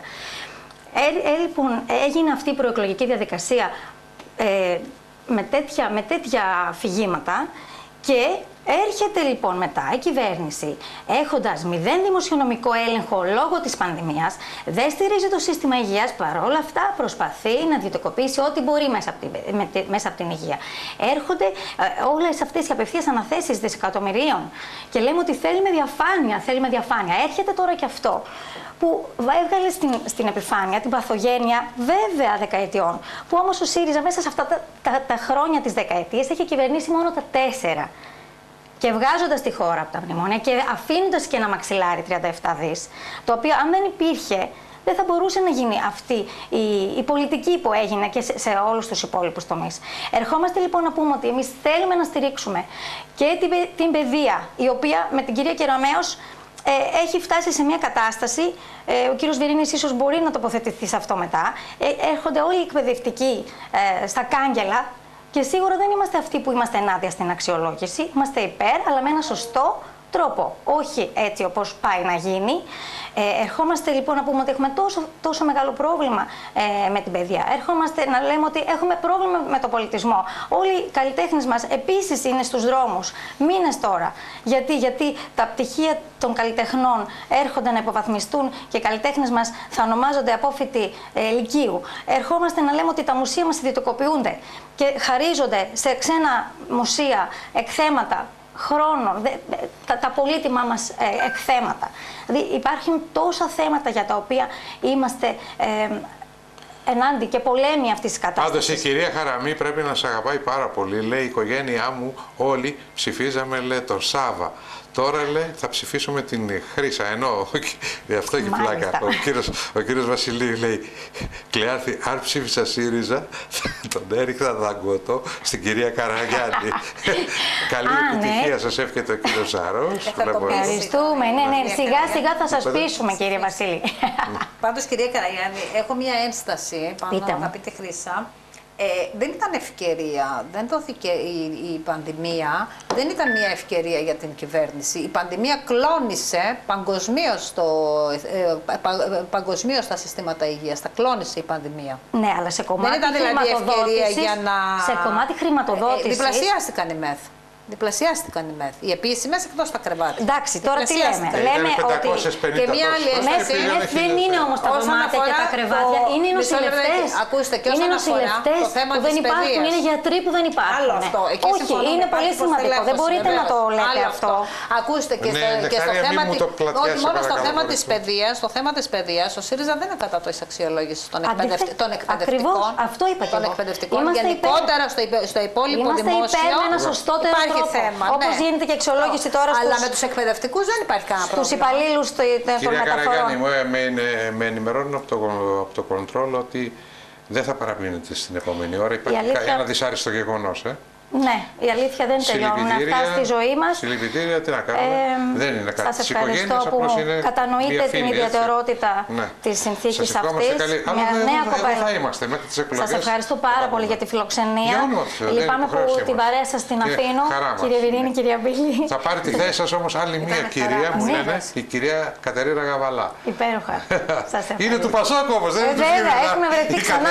Ήμασταν εδώ. Ναι, τότε με τη γυναικοκρατία. Άσε, Θανάση μου εδώ πέρα έχουμε μπερδέψει άσχημα. Όχι, είναι πολύ ευχάριστο ότι μπαίνουν νέα παιδιά ναι. στο χώρο και όλοι προσβλέπουμε ότι θα αλλάξει λιγάκι αυτός ο αέρας στο λοιπόν, οποίο θα επιστρέψουμε. Εμείς έχουμε και ώρα, έχουμε ώρα να τα πούμε. Λοιπόν, να είστε καλά, κυρία Καραγιάννη. Καλό αγώνα σας ευχόμαστε. Λοιπόν, να ξεκαθαρίσω κάτι, επειδή βλέπω τώρα εδώ δύο μηνυματάκια για την ε, κυρία Καραγιάννη. Το εσπεσμένο της αποχώρησης της υποψήφιας ε, βουλευτού του ΣΥΡΙΖΑ δεν έχει να κάνει με την οικογένεια. Αυτό το οποίο ακούστηκε το θλιβερό γεγονός είναι ο θάνατος μιας φίλης και λόγω του ότι είναι κηδεία αυτή την ώρα, γι' αυτό ζήτησε την κατανόησή μας και κατανοούμε και ευχόμαστε και τα θερμά μας συλληπιτήρια να πούμε στους οικείους ε, της εκλειπούσης. Λοιπόν, τη θέση της κυρίας Καραγιάννη Έρχεται τώρα άλλη μία υποψήφια από τον χώρο του Πασόκου που σας προαναγγείλαμε κυρίες και κύριοι. Είναι η κυρία Γαβαλά.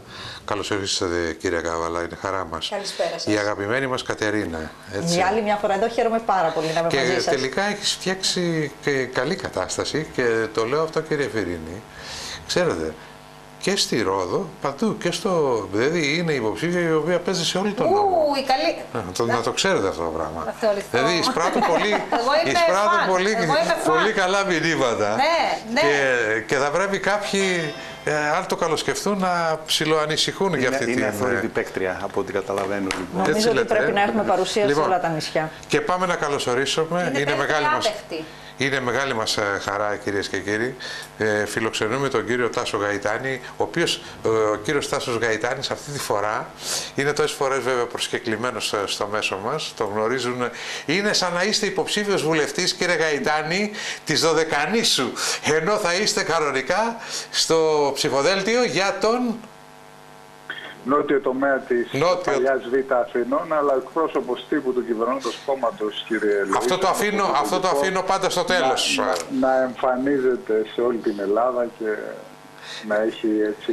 Ε, μα αυτή η ιδιότητά σας στο εκπροσώπου τύπου είναι που σας έχει κάνει γνωστό και δημοφιλή σε όλη τη χώρα κύριε Γαϊτάνη. Και να σου πω και κάτι, ε, κυρία Γαβαλά, κύριε Βερίνη, αγαπητή μου Νεκταρία, έχει ένα ήπιο λόγο ο κύριος Γαϊτάνης, δεν είναι, ξέρετε, αυτός ο σκληρός λόγος κτλ.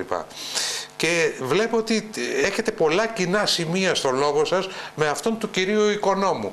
Ο κύριος Γαϊτάνης είναι εκπρόσωπος τύπου της Νέας Δημοκρατίας, ο κύριος Οικονόμου είναι εκπρόσωπος τύπου της κυβέρνησης. Καταλάβατε τώρα τι γίνεται; Κυβερνητικός εκπρόσωπος. Κυβερνητικός εκπρόσωπος. Λοιπόν, τι γίνεται, πότε θα έχουμε εκλογές κύριε εκπρόσωπε μας; Ε, το έχει απαντήσει εδώ και καιρό ο Πρωθυπουργό αυτό, κύριε Λόιζο, την Άνοιξη. Η Άνοιξη μπήκε. Η Άνοιξη μπήκε. Είμαστε, είμαστε πλέον και τυπικά από σήμερα στην, στην Άνοιξη. Οπότε σε λίγες εβδομάδες, κάποια στιγμή, μια Κυριακή πάνω, ε; μια Κυριακή κάτω, νομίζω ότι δεν έχει και ιδιαίτερη σημασία. Τελευταίες πληροφορίες λένε ότι ο, ο κύριος Πρωθυπουργός θα ανακοινώσει κοντά στο Πάσχα την ημερομηνία των, των εκλογών, έτσι, την ακριβή ημερομηνία. Κοιτάξτε κύριε Λόιζο, εντάξει, κάποια στιγμή ο Πρωθυπουργός θα, θα, κινηθεί με το θεσμικό τρόπο όπω κινείται πάντα. Νομίζω το, αυτό που πρέπει κανείς να κρατήσει είναι ότι ο Μητσοτάκης έλεγε από την αρχή της θητείας ότι θα γίνουν στο τέλος τη τετραετία εκλογές. Και σε άλλη μια δέσμευσή του αποδεικνύεται συνεπής απέναντι στον ελληνικό λαό. Πώς είδατε χθες την ε, παρουσία του κύριου Τσίπρα στη Λάρισα, κύριε Γαϊτάνη; Θλιβερή και στενάχωρη, κύριε Λοίζο, με την έννοια ότι δεν μπορεί τώρα ένας ο αρχηγός εξωματικής αντιπολίτευσης που έχει διατελέσει ε, και πρωθυπουργός της χώρας να παίρνει από το χέρι εντός εισαγωγικών έτσι, έναν πρώην εργαζόμενο του ΟΣΕ, συνταξιούχο εδώ και πάρα πολλά χρόνια, να πηγαίνει από το 10 έχεις εξοδηθεί, 13 χρόνια δηλαδή είδα, είναι εκτός Εδώ και πολλά χρόνια ακριβώς. Να πηγαίνει στο κέντρο τηλεδιοίκησης, υπερτοπικής τηλεδιοίκησης το οποίο κατασκευάζεται αλλά να μην πηγαίνει στον τόπο του εγκλήματος, εκεί που ο μοιραίος σταθμάρχης δεν έκανε αυτά που ε, οι συνάδελφοί του μέχρι εκείνη την ώρα κάνανε, να χρησιμοποιήσει δηλαδή το τοπικό ε, κέντρο τηλεδίκης, να χαράξει ηλεκτρονικά την πορεία του μοιραίου τρένου, ώστε να διορθωθεί ε, και το κλειδί αυτόματα, να μπει στη σωστή θέση, ώστε να επιτρέψει το τρένο να πάει στην άνοδο. Ε, τώρα από εκεί πέρα κύριε Λοΐζο να σας πω κάτι, θα σας το πω πώς το αισθάνομαι οι πολίτες περιμένουν δύο πράγματα. Περιμένουν την απόδοση των ευθυνών από τη δικαιοσύνη και βέβαια η κυβέρνηση έχει δεσμευθεί ότι θα συνδράμε κάθε δυνατό τρόπο ε, την, ε, τις εργασίες της για να αποδοθεί δικαιοσύνη και να πέσει άπλυτο φως. Και το δεύτερο που κάνουν, περιμένουν ένα απτό σχέδιο ώστε ο ΣΕ να αναταχθεί και περιμένουν και συγκεκριμένες δεσμεύσεις και συγκεκριμένες πολιτικές από την κυβέρνηση εμπροκειμένου, γιατί εμείς έχουμε την ευθύνη, ε, για το πώς οριστικά και αμετάκλητα θα κλείσουμε όλες τις παθογένειες του χθες. Γιατί όλες αυτές οι εικόνες που αναδεικνύονται από τον ΟΣΕ το τελευταίο χρονικό διάστημα, κύριε Λοΐζο, ανήκουν σε μια Ελλάδα που μας πλήγωσε, που μας οδήγησε στη χρεοκοπία ε, το 2010 και μια Ελλάδα που δεν μας αξίζει και πρέπει να να νικήσουμε αυτό το Παρά τα αυτά, ΟΣΕ, είδα σήμερα την ανακοίνωση. Είδα σήμερα την ανακοίνωση του κύριε εκπρόσωπε και θα έλεγα ότι στρέφεται κατά του κυρίου Τσίπρα, δηλαδή καταδικάζει εμέσως πλήρω σαφώς, ας πούμε, αυτό το οποίο συνέβη χθες. Αλλά εγώ θα ήθελα να μας πείτε για αυτή την Μας ακτιβιστική. Είπα και εγώ ότι είναι απόλυτα, ναι. είναι απόλυτα καταδικαστέο με την ναι. έννοια ότι ο κύριος Τσίπρας δεν τον ενδιαφέρει η αλήθεια. Τον ενδιαφέρει τον κύριο Τσίπρα να αποκτήσει ένα αντιπολιτευτικό αφήγημα. Ναι. Ε, ξέρετε, οι, οι, συνήθως τα κόμματα που είναι στην αντιπολίτευση κάνουν δύο πράγματα. Κάνουν την κριτική στην κυβέρνηση και παρουσιάζουν τις δικές τους θέσεις. Ο ΣΥΡΙΖΑ κάνει μόνο κριτική, δεν έχει δικές του θέσεις. Και μάλιστα ενώ τακτικιστικά, και θα σας πω γιατί αναφέρομαι στη λέξη τακτικιστικά, ο κύριος Τσίπρας λέει δίθεν ότι αναλαμβάνει τις δικές του ευθύνες, αυτές που του αναλογούν ε, στα 4,5 χρόνια που κυβέρνησε τον τόπο, δεν κάνει κανένα είδου αυτοκριτική. Υπάρχει ανάληψη ευθύνης, κύριε Λοίζο, χωρίς να κάνει κανείς αυτοκριτική. Τι μας λένε στο ΣΥΡΙΖΑ, μας λένε ότι μέχρι το 15 ο σιδηρόδρομος ήταν ένα ρημάδι. 15 με 19 ουσιαστικά έγινε το καλύτερο, ο καλύτερος σιδηρόδρομος της Ευρώπης και από το 19 και μετά έγινε ρημάδι. Νομίζω ότι αυτού του είδους η λογική δεν αντέχει σε ουσιαστική κριτική, δεν μπορεί να μπει στη συζήτηση. Λοιπόν, ε, πέρα, υπάρχουν όμως και χειρότερα. με τις δικές μας ευθύνες. Γιατί βλέπω τώρα εδώ, η κυρία, πώς λέγεται, Απατζίδη. μας στους πολίτες. Λοιπόν. Λίγη ώρα. Τη βουλευτής του Μέρα 25. Ναι, ναι, βγήκε εκτός από το ότι σας είχε αποκαλέσει προσφάτως και δολοφόνους, την κυβέρνηση δηλαδή, σήμερα στη Βουλή ε, είδατε ο ακτιβισμός ε, καλλιεργείται και καλά κρατεί ας πούμε και στη χώρα μας. Βγήκε στη Βουλή με μία μπλούζα που έγραφε πάνω 57 νεκροί, 156 υποκριτές κτλ. Και το λέω αυτό γιατί μόλις τώρα είδα και την ανακοίνωση την οποία εκδώσατε που ήρθε πριν από λίγο. Ε, εντάξει, δεν ξέρω πώς θα πάμε σε εκλογές τώρα. Με τέτοια μορφής ένταση θα πάμε, κύριε Γαϊτάνη. Και εδώ τώρα είναι ένα θέμα το οποίο πρέπει να το κουβεντιάσουμε στη συνέχεια και εμείς, ε, κυρία Γαβαλά. Έτσι. Βασικά θα πρέπει να, να ρωτήσετε εκείνους ε, που διαδίδουν και ενισχύουν αυτή την τοξικότητα, κύριε Λόιζο. Εμείς δεν έχουμε αυτή την πρόθεση. Εμείς, ξέρετε, ε, έχουμε κάνει πολύ πλούσιο έργο 3,5 χρόνια, σχεδόν 4 και θέλουμε πολύ να το αναδείξουμε. Βέβαια δεν τα κάναμε όλα τέλεια, ούτε είμαστε ιδανικοί. Έχουμε κι εμείς ε, πράγματα τα οποία θα μπορούσαμε να είχαμε κάνει πολύ πιο γρήγορα και με μεγαλύτερη ένταση. Αλλά εν πάση περιπτώσει έχουμε ένα χειροπιαστό έργο το οποίο ε, ξεδιπλώνεται σε όλους τους τομείς της πολιτικής, οικονομικής και της κοινωνικής ζωής. Σας λέω και πάλι όμως η αριστερά η οποία δεν έχει να πει τίποτα για τα μεγάλα προβλήματα του τόπου ξεδιπλώνει αυτό το διχαστικό, το διχαστικό ε, προφίλ, αν θέλετε, αυτό τη, τη, την τοξική ρητορική ε, για να απολώσει, αν θέλετε, τα πράγματα και να συγκρατήσει ε, ψηφοφόρους. Αυτό έκανε δυστυχώς σήμερα ε, και η, η βουλευτής του ΜΕΡΑ 25. Ελπίζουμε να καταδικάσει ο κύριος Γιάννης Βαρουφάκης και να καταδικάσουν και τα υπόλοιπα κόμματα του Ελληνικού Κοινοβουλίου, αλλά βλέπετε την πόλωση και την τοξικότητα την ενισχύει και ο ΣΥΡΙΖΑ. Εξού και το γεγονός της νέας αναδίπλωσης και κολοτούμπας του κύριου Τσίπρα, ο οποίος κράτησε τον κύριο Πολάκη ε, στο κόμμα του και στα ψηφοδέλτια του κόμματος, αποδεικνύοντας ότι Τσίπρας και Πολάκης δυστυχώς είναι η όψη του ίδιου νομίσματος. Λοιπόν, εδώ τώρα υπάρχουν δύο θεωρίες και αυτό θα ήθελα την προσοχή σας αγαπητοί μου φίλοι να το κουβεντιάσουμε μετά τον κύριο Γαϊτάνη. Αυτό το οποίο θα θέσω τώρα στον εκπρόσωπο είναι το εξής. Κάποιοι λένε ότι αυτή η κατάσταση, αυτό το, το, το, το τραγικό δυστύχημα το οποίο έχει συρρυκνώσει περισσότερο τη Νέα Δημοκρατία, λιγότερο τα άλλα κόμματα, την αξιοπιστία δηλαδή της κοινή γνώμης απέναντι στο πολιτικό μας σύστημα. Μπορεί να αντιμετωπιστεί με ένα δίπολο ισχυρό, λένε τώρα κάποιοι, όπου εκεί θα μοιράσουν ξέρω εγώ, πάλι το σταδίο τον κόσμο, αλλά υπάρχει και μια άλλη άποψη που σκέφτονται διαφορετικά οι άνθρωποι, όπως έχω την εντύπωση μας ε, εμφανίζεται ο κύριος Γαϊτάνης, δηλαδή της ήπιας αντιμετώπισης τέτοιων ζητημάτων, ούτως ώστε ο κόσμος να μην πορευτεί στην κάλπη με βάση το θυμικό, αλλά με βάση το λογικό. Εδώ τώρα τι πρέπει να κάνετε για να ακολουθήσετε το δεύτερο κύριε Γαϊτάνη από την πλευρά σας εφόσον λέτε ότι σας προκαλεί αξιωματική αντιπολίτευση; Και βλέπω ότι είστε πολύ προσεκτικός δεν αναφέρεστε καθόλου στο ΠΑΣΟΚ αναφέρεστε μόνο στην αξιωματική αντιπολίτευση. Κύριε Λοΐζο, είναι απόλυτα λογικό και κατανοητό οι συμπολίτες μας να αισθάνονται θλίψη και οργή για αυτό το τραγικό δυστύχημα.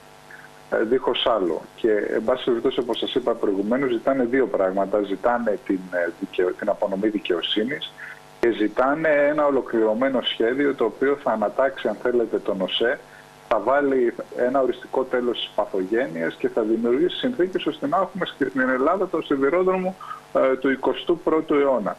Ε, ξέρετε, όσο ε, στεναχωρημένος ή οργισμένος να είναι κανείς, δεν θα πρέπει αυτή την οργή να τη μετατρέψει σε σπίθα ενός νέου διχασμού. Δεν κερδίσαμε τίποτα το 2012 ή το 2013.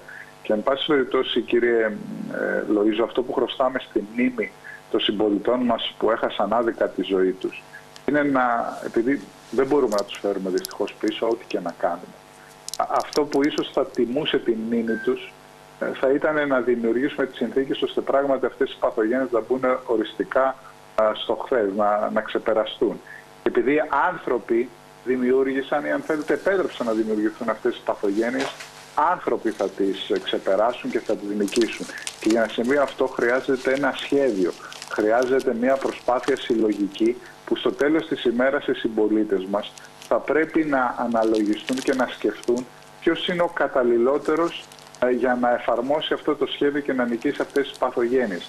Είναι για παράδειγμα ικανότερος και καταλληλότερος ο κύριος Τσίπρας, ο οποίος επί των ημερών του δεν έδωσε καμία μάχη να νικήσει καμία παθογένεια. Είναι ο Κυριάκος Μητσοτάκης που όχι μόνο από την αρχή της προσωπικής του πολιτικής σταδιοδρομίας, αλλά και από τότε που ανέλαβε πρωθυπουργός του τόπου δίνει αυτές τις μάχες. Επιτρέψτε μου να σας δώσω ένα-δύο παραδείγματα κύριε Λοΐζο για να καταλάβουν και οι τηλεθεατές σας τι εννοώ. Ας σκεφτούν όλοι οι Έλληνες πολίτες σε ποια κατάσταση παραλάβαμε την πολιτική προστασία στην Ελλάδα. Μια πολιτική προστασία απαξιωμένη σε ένα κατάλληλο κτίριο, χωρίς το 112, χωρίς δομές, χωρίς ανθρώπους. Σήμερα είναι μια, σε μια πολύ καλύτερη κατάσταση. Έχουμε την καλύτερη πολιτική προστασία της Ευρώπης, προφανώς και δεν την έχουμε. Όμως χρόνο με το χρόνο κύριε Λοΐζο η οργάνωσή της γίνεται και καλύτερη. Μαθαίνει αν θέλετε από τα λάθη της. Οργανώνεται σε καλύτερα πλαίσια και βλέπετε σήμερα ότι είναι μια υπηρεσία, ένα Υπουργείο πλέον το οποίο έχει έντονο αποτύπωμα στην κοινωνική και πολιτική ζωή του τόπου. Το δεύτερο παράδειγμα κύριε Λοΐζο. Το καλοκαίρι του 2019 βρήκαμε ένα εκατομμύριο ασφαλιστικές εκκρεμότητες. Ουσιαστικά ο ΕΦΚΑ δεν λειτουργούσε. Θυμάστε τις επισκέψεις του αρμόδιου... Το ξέρω από πρώτο χέρι αυτό το πράγμα που λέτε τώρα. Που έβλεπε λόφους τους φακέλους κύριε Λοΐζο και κανένας δεν έκανε τίποτα. Τι κάναμε για να σπάσουμε αυτή την παθογένεια, σκεφτήκαμε έξω από το κουτί, επιτρέψτε μου την έκφραση. Προσλάβαμε ιδιώτες, λογιστές, δικηγόρους, οικονομολόγους, ό,τι χρειαζόταν με μια αντιπολίτευση απέναντι για να νικήσουμε αυτή την παθογένεια. Και σήμερα το 80% των πολιτών, άνθρωποι που δεν ψηφίζουν προφανώς Νέα Δημοκρατία, είναι και από άλλους πολιτικούς χώρους, αναγνωρίζουν αυτές τις πολιτικές που εφαρμόσουμε στον ΕΦΚΑ ως απόλυτα χρήσιμες για να νικήσουμε αυτή την παθογένεια. Θέλετε να σας αναφέρω ένα τρίτο παράδειγμα κύριε Λόιζο, θα το κάνω. Το, την άνοιξη του 2019 ο ορκωτός λογιστής που είχε βάλει ο ΣΥΡΙΖΑ να αξιολογεί στην κατάσταση της ΔΕΗ έλεγε ότι η επιχείρηση ήταν στο χείλος της χρεοκοπίας. Σήμερα, σχεδόν τέσσερα χρόνια μετά, η ΔΕΗ είναι μια επιχείρηση σε πολύ καλή οικονομική κατάσταση που έχει τη δυνατότητα να κάνει επενδύσεις στο εσωτερικό και στο εξωτερικό. Ξέρετε, εδώ υπάρχει μπέρδεμα όμως τώρα με τον κόσμο. Μισό λεπτάκι, κύριε Λοίζο. Τελικά να κάνει τι ιδέα, κύριε Λοίζο, μέσα στην περίοδο της ενεργειακής κρίσης να προσφέρει στους Έλληνες καταναλωτές τη φθηνότερη τιμή κιλοβατόρας. Όλα αυτά τι δείχνουν, κύριε Λοίζο, ότι η δική μας κυβέρνηση είναι σταθερά δεσμευμένη στο να καταπολεμά παθογένειες. Έχουμε φέρει την αξιολόγηση, την ψηφίσαμε, εφαρμόζεται στην παιδεία, είναι ψηφισμένη και εφαρμόζεται από 1η Πρώτου 23 στο δημόσιο τομέα. Φέραμε 12 νόμους με σύσο με την αντιπολίτευση απέναντι για τη διαφάνεια, τη λογοδοσία, την αξιολόγηση. Κύριε Γαϊτάκη, αξιολόγηση χωρίς κρίσης δεν γίνεται όμως. Ποιος, λέει ότι δεν ε, γίνεται; Εγώ, εγώ η Νεκταρία Μπίλη. Εγώ έχω να σας πω κυρία Μπίλη ότι ας ξεκινήσω με την παιδεία. Έχει με την παιδεία είναι άψογο. άψογο το, η διαδικασία είναι άψογη. Ο στενός και ευρύτερος ε, τομέας όμως δεν έχει κρυθεί ε, δημόσιος τομέας για να πάει σε αξιολόγηση. Επιτρέψτε μου να σας πω ότι ο νόμος που ψηφίσαμε εφαρμόζεται από 1η Πρώτου του 2023. Ήδη αξιολογούνται νέοι διευθυντές ε, στο δημόσιο. Έχει ξεκινήσει η διαδικασία. Κάντε ένα ρεπορτάζ και αν βρείτε Επειδή κάτι αντίθετο... Έχω κάνει, κρίσεις δεν έχουν γίνει. Κρίσεις για να κρυθούν και να τοποθετηθούν στις κατάλληλες θέσεις οι κατάλληλοι κρίνονται. διοικητικοί υπάλληλοι. Ακούστε με, ακούστε με. Οι αξιολογήσεις ξεκινάνε από πάνω προς τα κάτω. Από πάνω και προς τα κάτω. Πρώτα θα αξιολογηθούν οι διευθυντές και μετά θα προχωρήσει τη διαδικασία. Να σας θυμίσω επίσης ότι η δική μας κυβέρνηση ψήφισε το νόμο 4735 του 2020. Να θυμίσω τι λέει αυτός ο νόμος. Ότι σε μια σειρά κρατικών οργανισμών μόλις λήξουν οι θητείες των διοικήσεων που είχαν οριστεί μέχρι το 2020, η προκήρυξη των νέων θέσεων θα γίνει μέσω ΑΣΕΤ. Κάνουμε μια τεράστια προσπάθεια να αλλάξουμε το δημόσιο τομέα. Τα έχουμε καταφέρει οριστικά; Όχι, δεν τα έχουμε καταφέρει οριστικά. Αλλά εμείς έχουμε ένα συγκεκριμένο σχέδιο, έχουμε συγκεκριμένα παραδοτέα και θέλουμε οι συμπολίτες μας ναι να μας κρίνουν αυστηρά, αλλά να κρίνουν το ίδιο αυστηρά εμάς που έχουμε κάνει όλα αυτά σε σχέση, και, σε σχέση με εκείνους που δεν κάνανε τίποτα τη διάρκεια της δικής τους θητείας. Λοιπόν, κυρία Γαβαλά, η υποψήφια βουλευτής του Πασόκ στην περιοχή μας, Ελλάδα. Θα έλεγα ότι αφήσαμε έναν μονόλογο τον κύριο Γαϊτάνη να πει όσα πιστεύει ότι έκανε σωστά η κυβέρνησή του για τον ελληνικό λαό. Θα έλεγα ότι κλίμα τοξικότητας προφανώς και δεν δημιουργούν τα κόμματα της αντιπολίτευσης. Το κλίμα είναι τοξικό. Αυτή τη στιγμή υπάρχει μια διάχυτη απογοήτευση στον κόσμο προς το πολιτικό σύστημα, προς τον τρόπο με τον οποίο αντιμετωπίζονται οι καταστάσεις στο δημόσιο τομέα. Η αλήθεια είναι ότι ο λαός, ο ελληνικός λαός θα ήθελε αύριο ή χτες ακόμα τη γραφειοκρατία να την πατάξει και θα ήθελε να έχει υγεία, παιδεία σε όλα τα μέρη, σε όλα τα μέρη της Ελλάδας. Μου μιλήσατε για πράγματα τα οποία έκανε η κυβέρνησή σας. Αλήθεια, ΕΚΑΒ υπάρχει σε όλα τα νησιά. Έχετε την αίσθηση ότι είναι καλυμμένα τα νησιά υγειονομικά; Ξέρετε τι συμβαίνει στα Δωδεκάνησα; Υπάρχουν νοσοκομεία χωρίς κέρυες ειδικότητες. Στη Ρόδο έχουμε έναν αναστησιολόγο. Στη Γό δεν έχουμε κανέναν παθολόγο. Στη Γιάλινο δεν έχουμε κανέναν καρδιολόγο. Έγιναν όλα αυτά τα έχει κάνει. Έγιναν δύο. Ωραία. Ευχάριστο. Ιδιαίτερα λόγω και αρκετοί λοιπόν, 130.000 μιας και είπε τώρα κυρία Γαβαλάκη, αφορά και εσάς κύριε Γαϊτάνη. Ναι, γιατί και, και αφορά και εσάς κύριε Βιρίνη, διότι ο κύριος Βιρίνη είναι αντιδήμαρχος τουρισμού. Παλεύουμε με νύχια και με δόντια να ανεβάσουμε το τουριστικό μας προϊόν που είναι καλό όχι μόνο για την περιοχή αλλά για ολόκληρη τη χώρα. Σήμερα υπήρξε μια αθλειότητα ε, πρώτου βαθμού. Μέγιστη αθλειότητα. Ο τρόπος με τον οποίο εγώ δεν έχω πρόβλημα, θα το πω καθαρά και με ονόματα κτλ. Σχετικά με το τηλεοπτικό σταθμό Μέγκα. Δεν μπορεί αυτή την ώρα, ας πούμε, να παρουσιάζει σήμερα το πρωί ο κύριος Κασαπόπουλος μαζί με την κυρία, πώς λέγεται, βούλγαρη κάπως έτσι, ναι.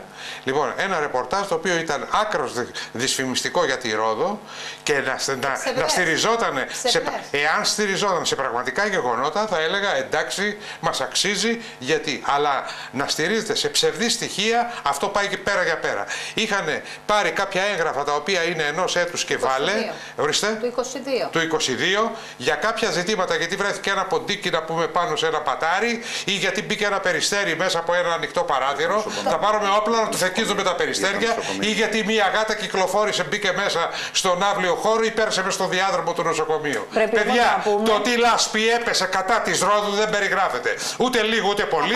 Ενεφάνισαν τη Ρόδο ότι είναι επικίνδυνη υγειονομικά, ενώ τα πράγματα δεν είναι έτσι. Και για να το στολίσουν, ναι, δεν φταίνει οι γιατροί, οι γιατροί κάνουν τη δουλειά τους. Αυτό το παραμύθι και αυτή την καραμέλα πρέπει να το τελειώνουμε. Και λυπάμαι πάρα πολύ γιατί οι άνθρωποι όπως είναι ο Γιάννης Ακουμέντο που είναι πε, πεπειραμένος, δεν έπρεπε να πέσει στην παγίδα να πούμε, του συγκεκριμένου, των συγκεκριμένων δημοσιογράφων. Λυπάμαι πάρα πολύ, αλλά δεν ανταποκρινόταν στην αλήθεια αυτό το οποίο έγινε σήμερα. Και αυτό ήταν πολύ δυσφημιστικό. Αν θέλουν να χτυπήσουν την κυβέρνηση, να τη χτυπήσουν και το Μητσοτάκι, να τη χτυπήσουν αλλιώς. Όχι δυσφημώντας όμως τη Ρόδο. Η... Δηλαδή τα δάχτυλα τα βάζουμε για να βγάλουμε η τα μάτια μα. του ρεπορτάζ ήταν τροπτικά περιστέρια, στο και... νοσοκομείο. Είναι ψευδές ναι. αυτό το ρεπορτάζ. Ψε... Ψευδές, δεν υπάρχει.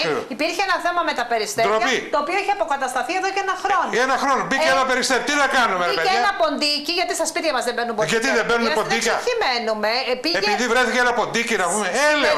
Και ένα, ένα νοσοκομείο το οποίο είμαστε υπερήφανοι για αυτό το νοσοκομείο. Όσοι νοσηλευτούν από εκεί μέσα δεν φεύγουν ξαπλωτοί, όρθιοι φεύγουν. Και να προσπαθούν με αυτόν τον τρόπο να το δει. Αλλά πιο πολύ, κύριε Βιρίνη, εσείς που είστε άνθρωπος του τουρισμού, δεν μπορεί να δυσφημούν ένα τόπο που θα φιλοξενήσει φέτος πάνω από 3 εκατομμύρια κόσμο. Με αυτόν εδώ τον, το, το, το, το, τον, τον απαράδεκτο τρόπο. Και να φαίνεται Κύριε Γαϊτάνη, σας παρακαλώ πάρα πολύ. έβραγμα μεταφέρεται στην Αθήνα και αυτό ψέματα. Και αυτό ψέματα. Όποιος πάθει έβραγμα μεταφέρεται στην ε, Αθήνα. Τι είναι αυτά τα πράγματα; Προ χάρη τη τηλεθέαση. Έλεος δηλαδή. Τέτοιες ανακρίβειες. Ελάτε κύριε Γαϊτάνη. Κοιτάξτε, εγώ δεν έχω δει αυτό το ρεπορτάζ που λέτε. Εμένα μου το στείλανε, ούτε και εγώ το είδα. Το, μου το στείλανε και μπορώ να το βάλω να το δείτε. Θα ανεβεί, κύριε Βερίνη, θα, θα εξαγριωθείτε. Με τι ανακρίβειε. Και διαιρωτάτε στο τέλο οι δημοσιογράφου. Ζούμε λέει, το 2023, σα πληροφορώ, εγώ εκνευρίστηκα δηλαδή. Εκνευρίστηκα. Τότε υπάρχουν, τότε υπάρχουν προβλήματα, υπάρχουν σε όλα τα νοσοκομεία. Όχι όμω με, αυτό το, με αυτή τη λάσπη. Σα καλύπτει κυρία Γαβαλά το ποντίκια, τροχτικά και λίματα. Αυτό είναι το νοσοκομείο μα. Απλά να πούμε λίγο τα Να πούμε ότι τα κτίρια, καλό ή κακό, έχουν κάποιε. Κυρία Γαβαλά, εσεί θα είστε εδώ, επειδή πρέπει να αποδεσμεύσουμε τον κύριο Γαϊτάνη. Ελάτε κύριε Γαϊτάνη έχω πολύ χρόνο να πω μια κουβέντα. Παρακαλώ, έλατε. Η πολιτική είναι η τέχνη του εφικτού, όχι του επιθυμητού. Αλλά για να κάνουμε ε, το επιθυμητό πράξη πρέπει να γνωρίζουμε ποιο είναι το εφικτό. Στην πατρίδα μας έχουμε δύο προβλήματα.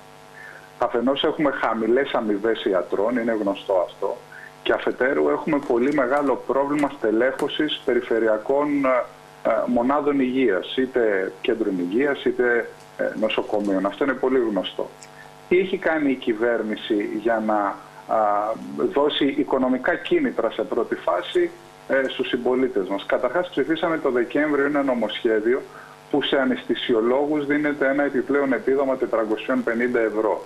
Στους γιατρούς στο ΕΚΑΒ επίσης δίνεται ένα επίδομα. Άλλο αυτό που μας λέτε τώρα και άλλο αυτό που είπαμε εμείς όμως. Έτσι, καμία ναι, σχέση. αλλά εγώ απαντώ, απαντώ σε κάτι που είπε η, συνομιλ... η φιλοξενούμενη σας προηγουμένως και πρέπει και να το κίνητρο 1.800 ευρώ στους γιατρούς που δεν υπηρετήσουν. Το ρεπορτάζ σας είπα αυτό που είδατε, δεν το έχω δει, δεν μπορώ να κάνω κάποιο σχόλιο. Καλώς. Οπότε Εντάξει. πρόσφατα ο κύριος Πλεύρης έφερε άλλο ένα κίνητρο οικονομικό συν 1.800 ευρώ στους γιατρούς που θα πάνε να στελεχώσουν μονάδες σε πολύ μικρά νησιά. Για Δώσαμε τη μήνες. δυνατότητα, δώσαμε τη δυνατότητα σε γιατρούς που είναι στον ιδιωτικό τομέα να μπορούν να συνδράμουν στο Εθνικό Σύστημα Υγείας και από την άλλη σε γιατρούς του Εθνικού Συστήματος Υγείας που μόλις ολοκληρώσουν αν θέλετε το κλινικό τους έργο κύριε Λοΐζο να μπορούν να έχουν να παρέχουν ένα ήπιο ε, ε, ιδιωτικό έργο ώστε να ενισχύσουν το εισόδημα. Δεν υπάρχει υπουργική απόφαση γι' αυτό, να μην λέμε ανακρίβειες. είναι εγώ σας λέω ότι έχουμε ψηφίσει τον δεν νόμο. υπάρχει δεν υπουργική απόφαση, δεν είναι ενεργός ο νόμος. Α μην μιλάμε για ανακρίβειες.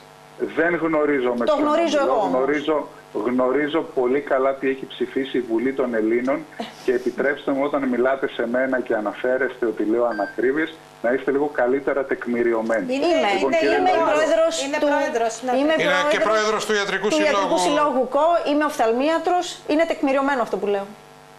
Πολύ καλά. Λοιπόν, κύριε Λοίζο, να συνεχίσετε. Ελάτε, και παρακαλώ, να- ελάτε, να- παρακαλώ, να- ελάτε, να κύριε με Γαϊτάνη. αποδεσμεύσει. Η κυβέρνηση γνωρίζει πλήρως τις δυσκολίες που υπάρχουν στο εθνικό σύστημα υγείας. Ένα εθνικό σύστημα το οποίο το 2020, σύμφωνα με όλα τα προγνωστικά, ήταν υποψήφιο για να αναδειχθεί το πιο ευάλωτο στην περίοδο του κορονοϊού. Έδωσε η κυβέρνηση μια τιτάνια μάχη. Βρήκαμε 550 κλίνες Μα τώρα τα ξέρουν αυτά κύριε Γαϊτάνη. Εδώ προσέφεραν φαγητό στους Γίνεται, ασθενείς λοιπόν. παλιά και δεν τους βάζανε κρέα. Μα, μα- μα- μακαρόνια με τυρί. και μου είπε φίλος μου γιατρός μέσα, μου λέει Κλεάνθη δεν έχουμε κρέας. Πήγαινε, χρειαζόσουν να ξέρω εγώ πώς τη λένε παγοκίστε και δεν είχε το νοσοκομείο. Πήγαινες από το φαρμακείο να τις πάρεις. Τι μου λέτε τώρα, τα μαξιλάρια δεν είχαν μια μαξιλαροθήκη; τιτάνια- Θα Ε, κλείσουμε έλεος, να δηλαδή, ξέρουμε αντιμετωπίσουμε πώς μια τα προβλήματα. τουριστική σεζόν η οποία να θα είναι ξέρετε- πάρα πολύ Και δυνατή να με ξέρετε, ελάχιστο κύριε προσωπικό. Λοΐζο, Ελάτε παρακαλώ. Μπορώ να, μπορώ να ολοκληρώσω. Παρακαλώ, ελάτε. Κύριε Λοΐζο, και να ξέρετε ότι το έχει πει και ο Πρωθυπουργός αυτό, ότι μια από τις προτεραιότητες της Νέας Δημοκρατίας για τη δεύτερη τετραετία είναι ακριβώς λαμβάνοντας και τα μαθήματα της πανδημίας που σίγουρα δημιούργησε δεδομένα, να ενισχύσουμε το εθνικό σύστημα υγείας και να το αναβαθμίσουμε από όλες τις Λοιπόν. απόψεις. Να είστε καλά, σε ευχαριστούμε πολύ Σας κύριε ευχαριστώ Γαϊτάνη. πολύ. Την, Εσείς, την καλό- εκτίμησή καλό μας. απόγευμα. Καλό Καλό αγώνα, απόγευμα. σε ευχόμαστε. Να είστε καλά. Λοιπόν, κύριε Γαβαλά, κύριε Βιρίνη, εγώ πραγματικά ξε, ξαγριώθηκα με αυτό το θέμα. Ε, τώρα είναι και 10 λεπτά. Τι να Είναι- πρωτοβάλω τώρα από εδώ, ας Εντάξει, πούμε; Μου το- το- τώρα το έχουν φαντάζομαι στείλει ότι ξανά. είναι ένα, Κι άλλοι μου το τραβηγμένο, έχουν είναι στείλει. ένα τραβηγμένο ρεπορτάζ. Σε κάθε περίπτωση όμως επειδή θα δεχτούμε όπως είπε και η κυρία Γαβαλά ένα πλήθος κόσμου, πρώτιστα όμως για τους κατοίκους της Ρόδου έχουμε χρέος να φροντίσουμε όλοι η αναβάθμιση και υλικοτεχνικά του νοσοκομείου και σε προσωπικό να είναι αυτή που αξίζει στο, στην περιοχή μας. Και είναι πρόκληση και για τους νέους βουλευτές, γιατί ξέρω ότι πολλοί Για το έχουν όλους. βάλει ψηλά στην ατζέντα τους, αυτό να το διεκδικήσουμε στεναρά. Πράγματι, εγώ θεωρώ ότι η εικόνα του νοσοκομείου δεν είναι αυτή που πρέπει τα, τα τελευταία χρόνια. Όταν είναι κατόρθωμα το γεγονός ότι έχουμε δύο Πάντως δεν είναι αυτό που αναισθησιολόγου. παρουσιάζεται σήμερα. Είπα- δεν είναι η είπα- εικόνα που παρουσιάζεται, ναι, παιδιά. είπα είναι ότι είναι πτωκοσμική. τραβηγμένο. Εγώ, Είναι εγώ τραβηγμένο. εκνευρίστηκα όταν τα, Είναι τα τραβηγμένο. άκουσα. Αλλά όταν, ναυτικός όταν πριν από μάρτυρας. χρόνια είχαμε 11 και 12 αναισθησιολόγου και τώρα είναι κατόρθωμα το να έχουμε δεύτερο αναισθησιολόγο, νομίζω αυτό τα λέει όλα. Τρεις έχουμε. Είναι απαράδεκτα αυτά τα οποία συνέβησαν με το, με το θέμα του νοσοκομείου της ε, Ρόδου. Και το πήρα αμέσως τώρα η Αυγή, το πήραν όλα. Ε, βρήκαν ευκαιρία τώρα. Σου λέει εντάξει, βρήκαμε παπά, θα θάψουμε το χωριό. Το θέμα είναι ότι δεν μπορούν να παίζουν εις βάρος της Ρόδου. Ενός προορισμού, ο οποίος δεν σηκώνει μόνο την, ε, το βιωτικό επίπεδο των κατοίκων, αλλά και όλων των Ελλήνων συνολικά. Γιατί αν δεν δουλέψει η Ρόδος, η Κος και όλα τα νησιά και δεν παραχθεί το, το, το αγαθό που λέγεται τουρισμός, καταλαβαίνετε ότι το 20-25% του ΑΕΠ της χώρας μας είναι τουρισμός. Και το μεγαλύτερο κομμάτι από αυτό έρχεται από το Νότιο Αιγαίο. Η νο- Το Νότιο Αιγαίο κάνει πρωταθλητισμό. Και η Ρόδος είναι η ναυαρχίδα υποτίθεται του, του τουρισμού. Στα χέρια ε, που βρίσκεται, αυτή την ώρα βρίσκεται του αρμόδιου αντιδημάρχου επί των τουριστικών θεμάτων, του κυρίου Βιρίνη. Λοιπόν, μια κοινή προσπάθεια και αυτό είναι το σημαντικό πολλών φορέων. Δεν είναι πολλών φορέων. Δεν μπορεί να δυσφημείται ο... με τόση ευκολία ας πούμε, και με μία ας πούμε, να, το, να παίρνουν μια αυθαίρετα για να το σβήνουν. Να πω κάτι. Όφυλαν οι έγκριτοι δημοσιογράφοι των Αθηνών να κάνουν ρεπορτάζ. Αυτή τη στιγμή ήταν η μητελέ. Σε παρακαλώ. Ήταν ημιτελέ το ρεπορτάζ. Ο αίμηνιστο ο δάσκαλό μου, ο Πασαλάρης, κάποια στιγμή που τον κάλεσα στο πλαίσιο της ερευνητικής δημοσιογραφίας ενός μεταπτυχιακού, του λέω δάσκαλε εδώ πώς θα κάνω και μου λέει νεκταρία, όταν ε, έρθει κάποιος και σου πει ότι βρέχει, δεν ρωτάς και τον παρακαθήμενό σου αν βρέχει, ανοίγεις το παράθυρο και βλέπεις ήδη αν βρέχει. Όφυλαν λοιπόν αυτοί οι δύο έγκριτοι δημοσιογράφοι σήμερα, πέραν των δύο, του ενός δημοσιογράφου εδώ του δικού μας και του Προέδρου των εργαζομένων, να καλέσουν το και τον διοικητή του νοσοκομείου για να αποκαταστήσουν την, ε, ε το κύρος του νοσοκομείου μας. Εντάξει, γιατί το, ε, το ρεπορτάζ αυτό αυτό που παρουσιάστηκε σήμερα είναι ψευδές. Εγώ έκανα ρεπορτάζ, ήρθα σε επαφή με τον διοικητή του νοσοκομείου και δεν είναι έτσι τα πράγματα. Εγώ θα Σου είπε ότι όλα αυτά δεν, δεν υφίσταται τίποτα. Βεβαίως, το θέμα των περιστεριών έχει αποκατασταθεί. Να συμφωνήσουμε με τον κύριο Λοίζο ναι. ότι είναι εξαιρετικά σημαντική η υγεία στα νησιά μας. Ότι δηλαδή τα νοσοκομεία θα πρέπει να είναι λειτουργικά, θα πρέπει να είναι άρτια όσο αφορά την κτηριακή υποδομή, προφανώς και σε ό,τι αφορά τον υλικοτεχνικό και ιατροτεχνολογικό εξοπλισμό και φυσικά να είναι στελεχωμένα. Όταν λοιπόν εμείς έχουμε προβλήματα στελέχων, νομίζω το να γίνεται ένα ρεπορτάζ αν μπήκε μία γάτα ή δεν μπήκε είναι ξεκάθαρα δευτερεύον. Αν υποθέσουμε ότι, μπήκε, αν υποθέσουμε ότι μπήκε η γάτα, θα μιλήσουμε με τον διοικητή, θα ρωτήσουμε τον διοικητή αν μπήκε. και δεν θα ξαναμπεί η γάτα Εδώ τώρα όφιλε του ζήτησες του διοικητή, αγαπητή μου Νεκταρία, να έρθει εδώ να μιλήσει. Γιατί δεν μιλάει, δεν το κατάλαβα δηλαδή. Γιατί είναι κλει... κλεισμένος μέσα σε μία γυάλα. Σημαντική η γάτα, αλλά δεν είναι η γάτα το πρόβλημά μας. Ε, ο ρόλος του δεν είναι μόνο να διοικεί το νοσοκομείο, ε, είναι να προασπίζεται και τον φορέα, τον πολιτικό που τον έθεσε στο νοσοκομείο. Δεν μπορεί αυτή την ώρα να δυσφημείται ο φορέας, δυσφημείται ο τόπος, δυσφημούνται τα πάντα και να μην βγει να δώσει τις. Ε, δεν κατάλαβα δηλαδή. Δεν είναι ικανός να μιλήσει αυτό μου λέει. Όχι, ο άνθρωπος ικανότατος. Ε, είναι τότε, και λοιπόν, λόγου έχει και είναι και δραστήριος. Γιατί λοιπόν, ακούστε τι μου είπε. Λέμε μου, τότε είναι καλός διοικητής, δεν αμφιβάλλω. Ε, Έχω ακούσει καλές κριτικές μέσα από το νοσοκομείο. Ε, και από τους γιατρούς και από τους εργαζόμενους. Και γι' αυτό, όπως βλέπετε, έχει καταλαγιάσει. Δεν υπάρχει η ένταση αυτή που υπήρχε κατά το παρελθόν πριν έλθει.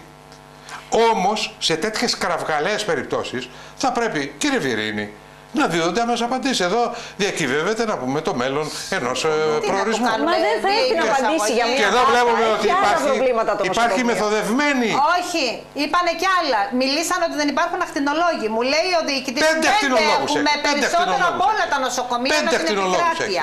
Λοιπόν, σε συνεργασία με την περιφέρεια, ακούστε, έχει προξασφαλίσει. Όχι, το είπε ο πρόεδρος των εργαζομένων ότι είναι πέντε ακτινολόγοι. Αλλά μπορεί και να μην άρεσε στην κυρία Βούλγαρη όταν άκουσε ότι είναι πέντε ακτινόλογοι. Έχει, ε, έχει ο διοικητής σε συνεργασία με την περιφέρεια. Έχει προεξοφλημένη πίστοση 30.000 ευρώ. Δεν θα κριτικάρουν μόνο τους άλλους.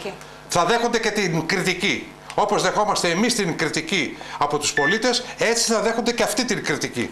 Λοιπόν, μας λέει ο φίλος μας ο Σπύρος από Ρόδο, επανειλημμένα λέει το συγκεκριμένο αθηναϊκό κανάλι, δυσφημεί τη Ρόδο. Μάλλον λέει είναι δάκτυλος. Τέλος πάντων, πάμε παρακάτω. Ο Μιχάλης από κόμμα λέει ε, ο ΣΥΡΙΖΑ λέει, λέει ο ΣΥΡΙΖΑ για το ατύχημα στα Τέμπη και τους νεκρούς και κανένας δεν βγαίνει να πει για το μάτι και τις ζωές που χάθηκαν τότε. Ε, ο κύριος Παστρικός. Εγώ Κλεάνθη λέει όπως ξέρεις είμαι Πασόκ, θα ψηφίσω Πασόκ την πρώτη Κυριακή αλλά την επόμενη θα ψηφίσω Μητσοτάκη, δεν θέλω με τίποτα να ξαναγυρίσει ο Τσίπρας. Ε, ο κύριος Αντώνης από την Ιαλισό. Δε, δηλαδή εγώ που πληρώνω δύο φορές ε, Κλεάνθη πιο ακριβά το νερό εδώ στα 30 από ό,τι το πληρώνει η αδερφή μου στον Αρχάγγελο να φοβηθώ μήπως ιδιωτικοποιηθεί το νερό, να ιδιωτικοποιηθεί. Ο Τσαντιμπίκος μας λέει όλα, όλα τα... Μα δεν είπε κανείς ότι θα ιδιωτικοποιηθεί το νερό, παιδιά. Ο Τσαμπίκος, όλα τα περιμένω από τον Τσίπρα, αλλά η χθεσινή λέει, παράσταση να πάει σε ένα άδειο κτίριο και να κάνει αυτό το σοου είναι λέει, το κάτι άλλο.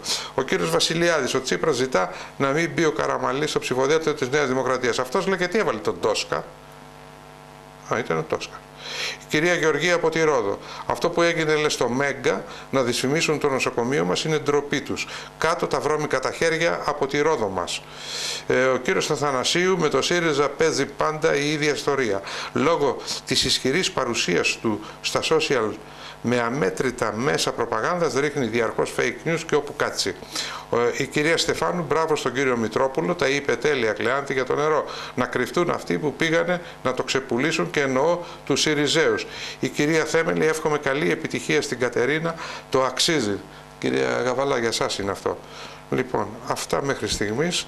Θα δω τώρα και στο Messenger και στο, στα email. Λοιπόν, έλα την κυρία Γαβαλά. Να πούμε ότι υπάρχουν πολλές παθογένειες γενικότερα στα συστήματα, τα δημόσια. Όπως υπάρχουν παθογένειες και στα νοσοκομεία.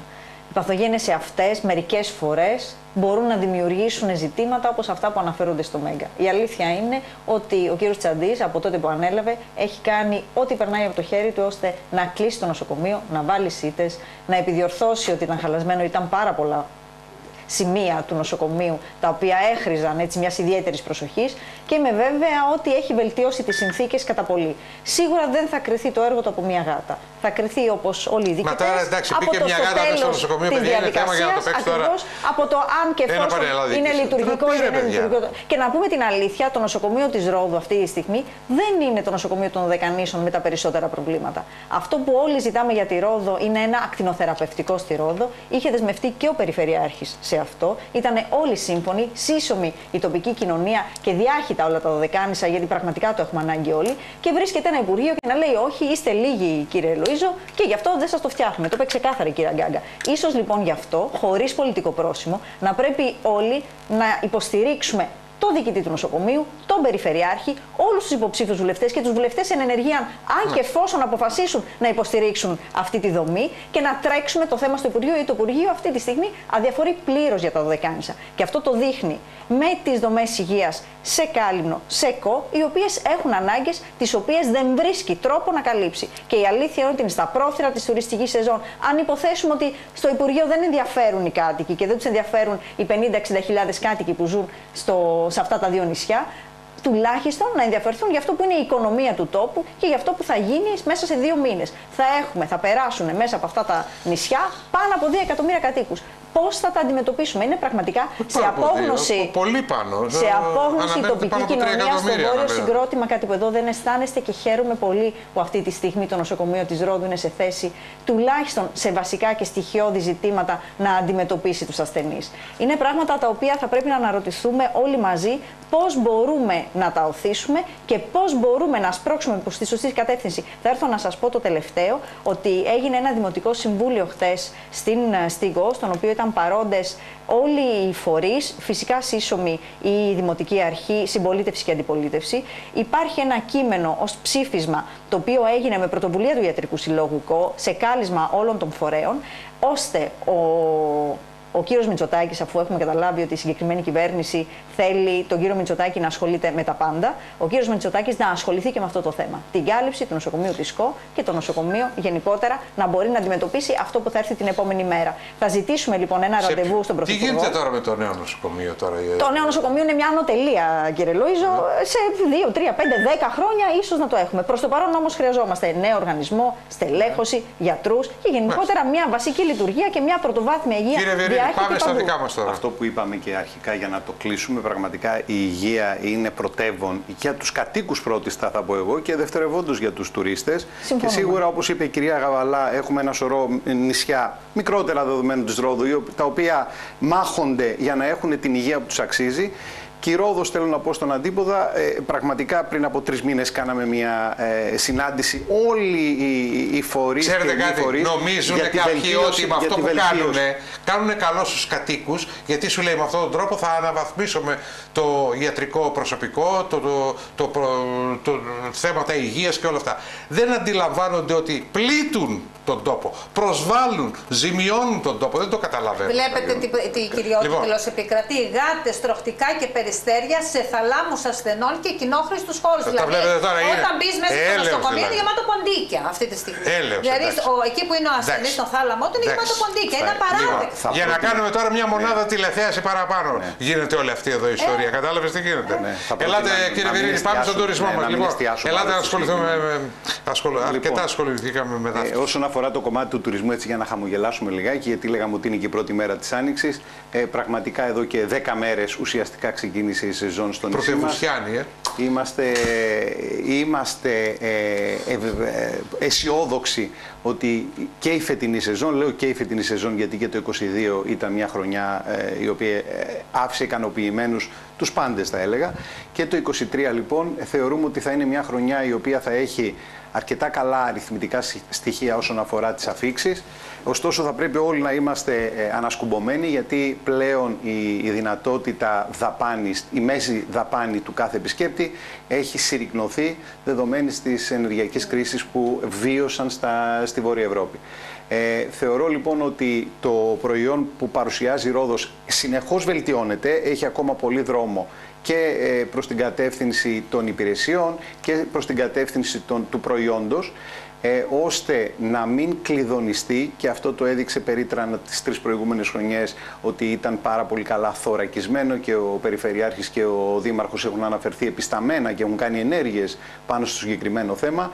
Θέλουμε να ελπίζουμε ότι φέτος η χρονιά θα κυλήσει ε, φυσιολογικά, λέω φυσιολογικά γιατί πέρα από τον COVID, την ενεργειακή κρίση, την εμπόλεμη κατάσταση, ε, έχουμε, ε, ξεκινήσει, ε, έχουμε βαρεθεί να ξεκινάμε κάθε χρονιά με ένα απρόπτο γεγονός. Θέλουμε λοιπόν να πιστεύουμε ότι η φετινή χρονιά θα εξελιχθεί και φαίνεται να εξελίσσεται ομαλά. Ήδη για το μήνα Μάρτιο ε, για πρώτη φορά ε, ξεκίνησε 11 Μαρτίου. Έχουμε 72 πτήσεις κατά το μήνα Μάρτιο που κατά προσέγγιση Πόσες, σημαίνει ε, 72 Τι πτήσεις. πληρότητα θα έχουν αυτές οι Αυτές, πτήσεις; αυτές μέχρι στιγμής έχουν ξεπεράσει τους 120 ε, επιβάτες. Κατά μέσον που- όρο κατά η μέσο καθεμία, όρο, ε. ναι, ναι. Ε, Οι τελευταίες πτήσεις του Σαββατοκύριακου ε, ήταν γύρω στους 150 με 160.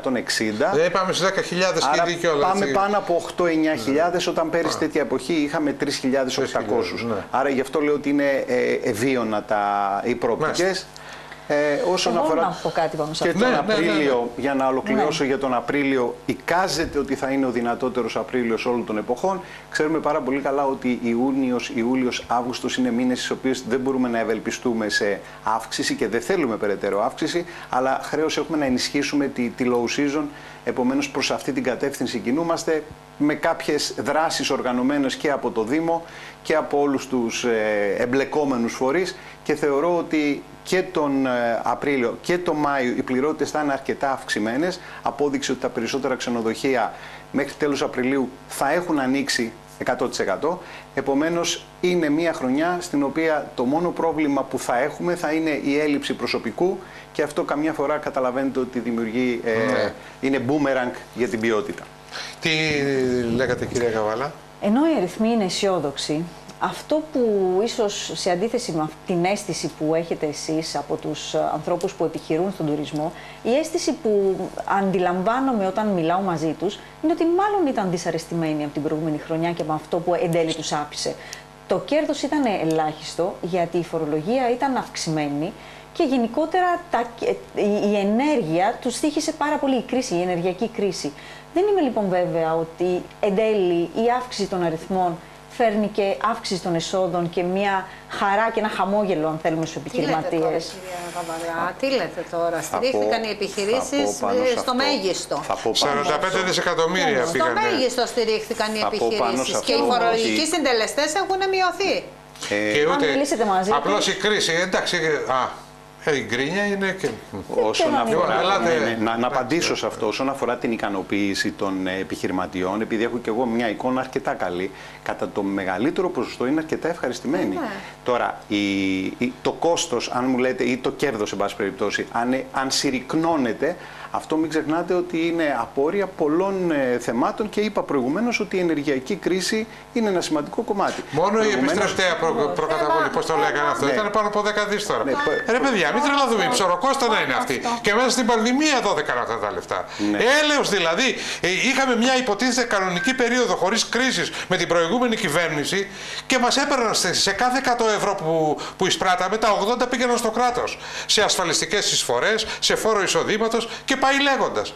Και τώρα αυτή τη στιγμή έχουν μειωθεί 30 φόροι. Και ποιοι είναι αυτοί οι οποίοι λένε ότι υπάρχει αυξημένη φορολογία; Καλά, έλεος, δηλαδή Ωστόσο, το, δεν πάβει κάπου να- να τραβάμε χειρόφρενο στα ψέματα. Ωστόσο, Ε, ναι, αυτό δεν υπάρχει είναι άκρη. σίγουρο. Εντάξει, Είναι ε, το υπάρχει σύνολο. πειραματικό, εντάξει. Ε, για και να- των Κάτι το επιχειρηματιών οποίο και των επι- εργαζομένων ε, είναι το οποίο επιχειρηματίες, ικανοποιημένοι. Είναι πραγματικά κάθε φορά ε, λυπηρό να μυρολογούμε.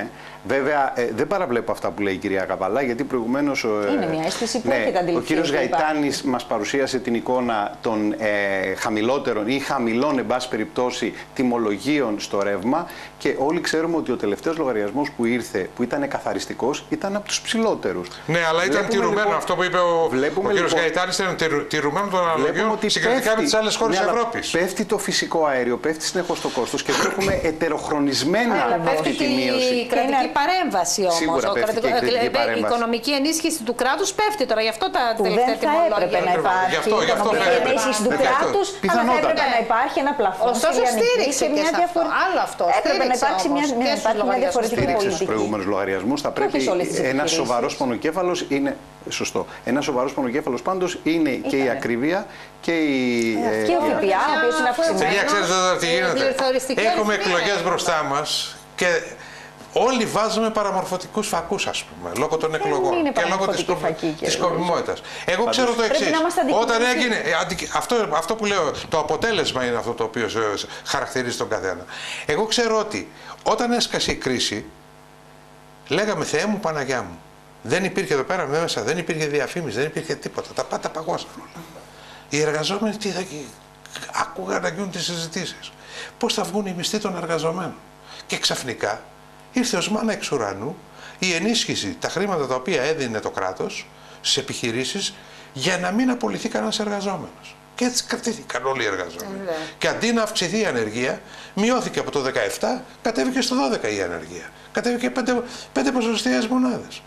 Και μετά στο καπάκι έρχεται και σκάει η ενεργειακή κρίση. Η Ελλάδα είχε το φθηνότερο ρεύμα από όλες τις άλλες χώρες. Απλώς οι άλλες χώρες είχαν άλλο είδους προβλήματα.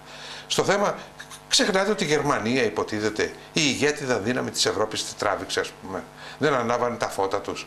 Ε, ε, Δεν έχει το το- φθηνότερο το- ρεύμα, κύριε Λουίζο. Έχει από τα ακριβότερα ρεύματα η Ελλάδα. Απλά το ελληνικό κράτος, η ελληνική κυβέρνηση επέλεξε να πρημοδοτήσει τις Αυτό εταιρείες. εννοώ, δηλαδή, Δεν ε, έχει φθηνό ρεύμα, κάθε άλλο. Τη στιγμή Ε, που θα η σταματήσει το πρημοδότηση ελληνικό τώρα στις κράτος εταιρείες. να, να σταματήσει να δίνει χρήματα Και αυτό στις είναι εταιρείες, άδικο να το λέμε, γιατί φορολογήθηκαν, το υπερκέρδος φορολογήθηκε με 90%. Μαζεύτηκαν κάπου 2-2,5-3 δισεκατομμύρια από Θα αυτή ήταν τη πιο δουλειά. έντιμο να βάλει ένα πλαφόν.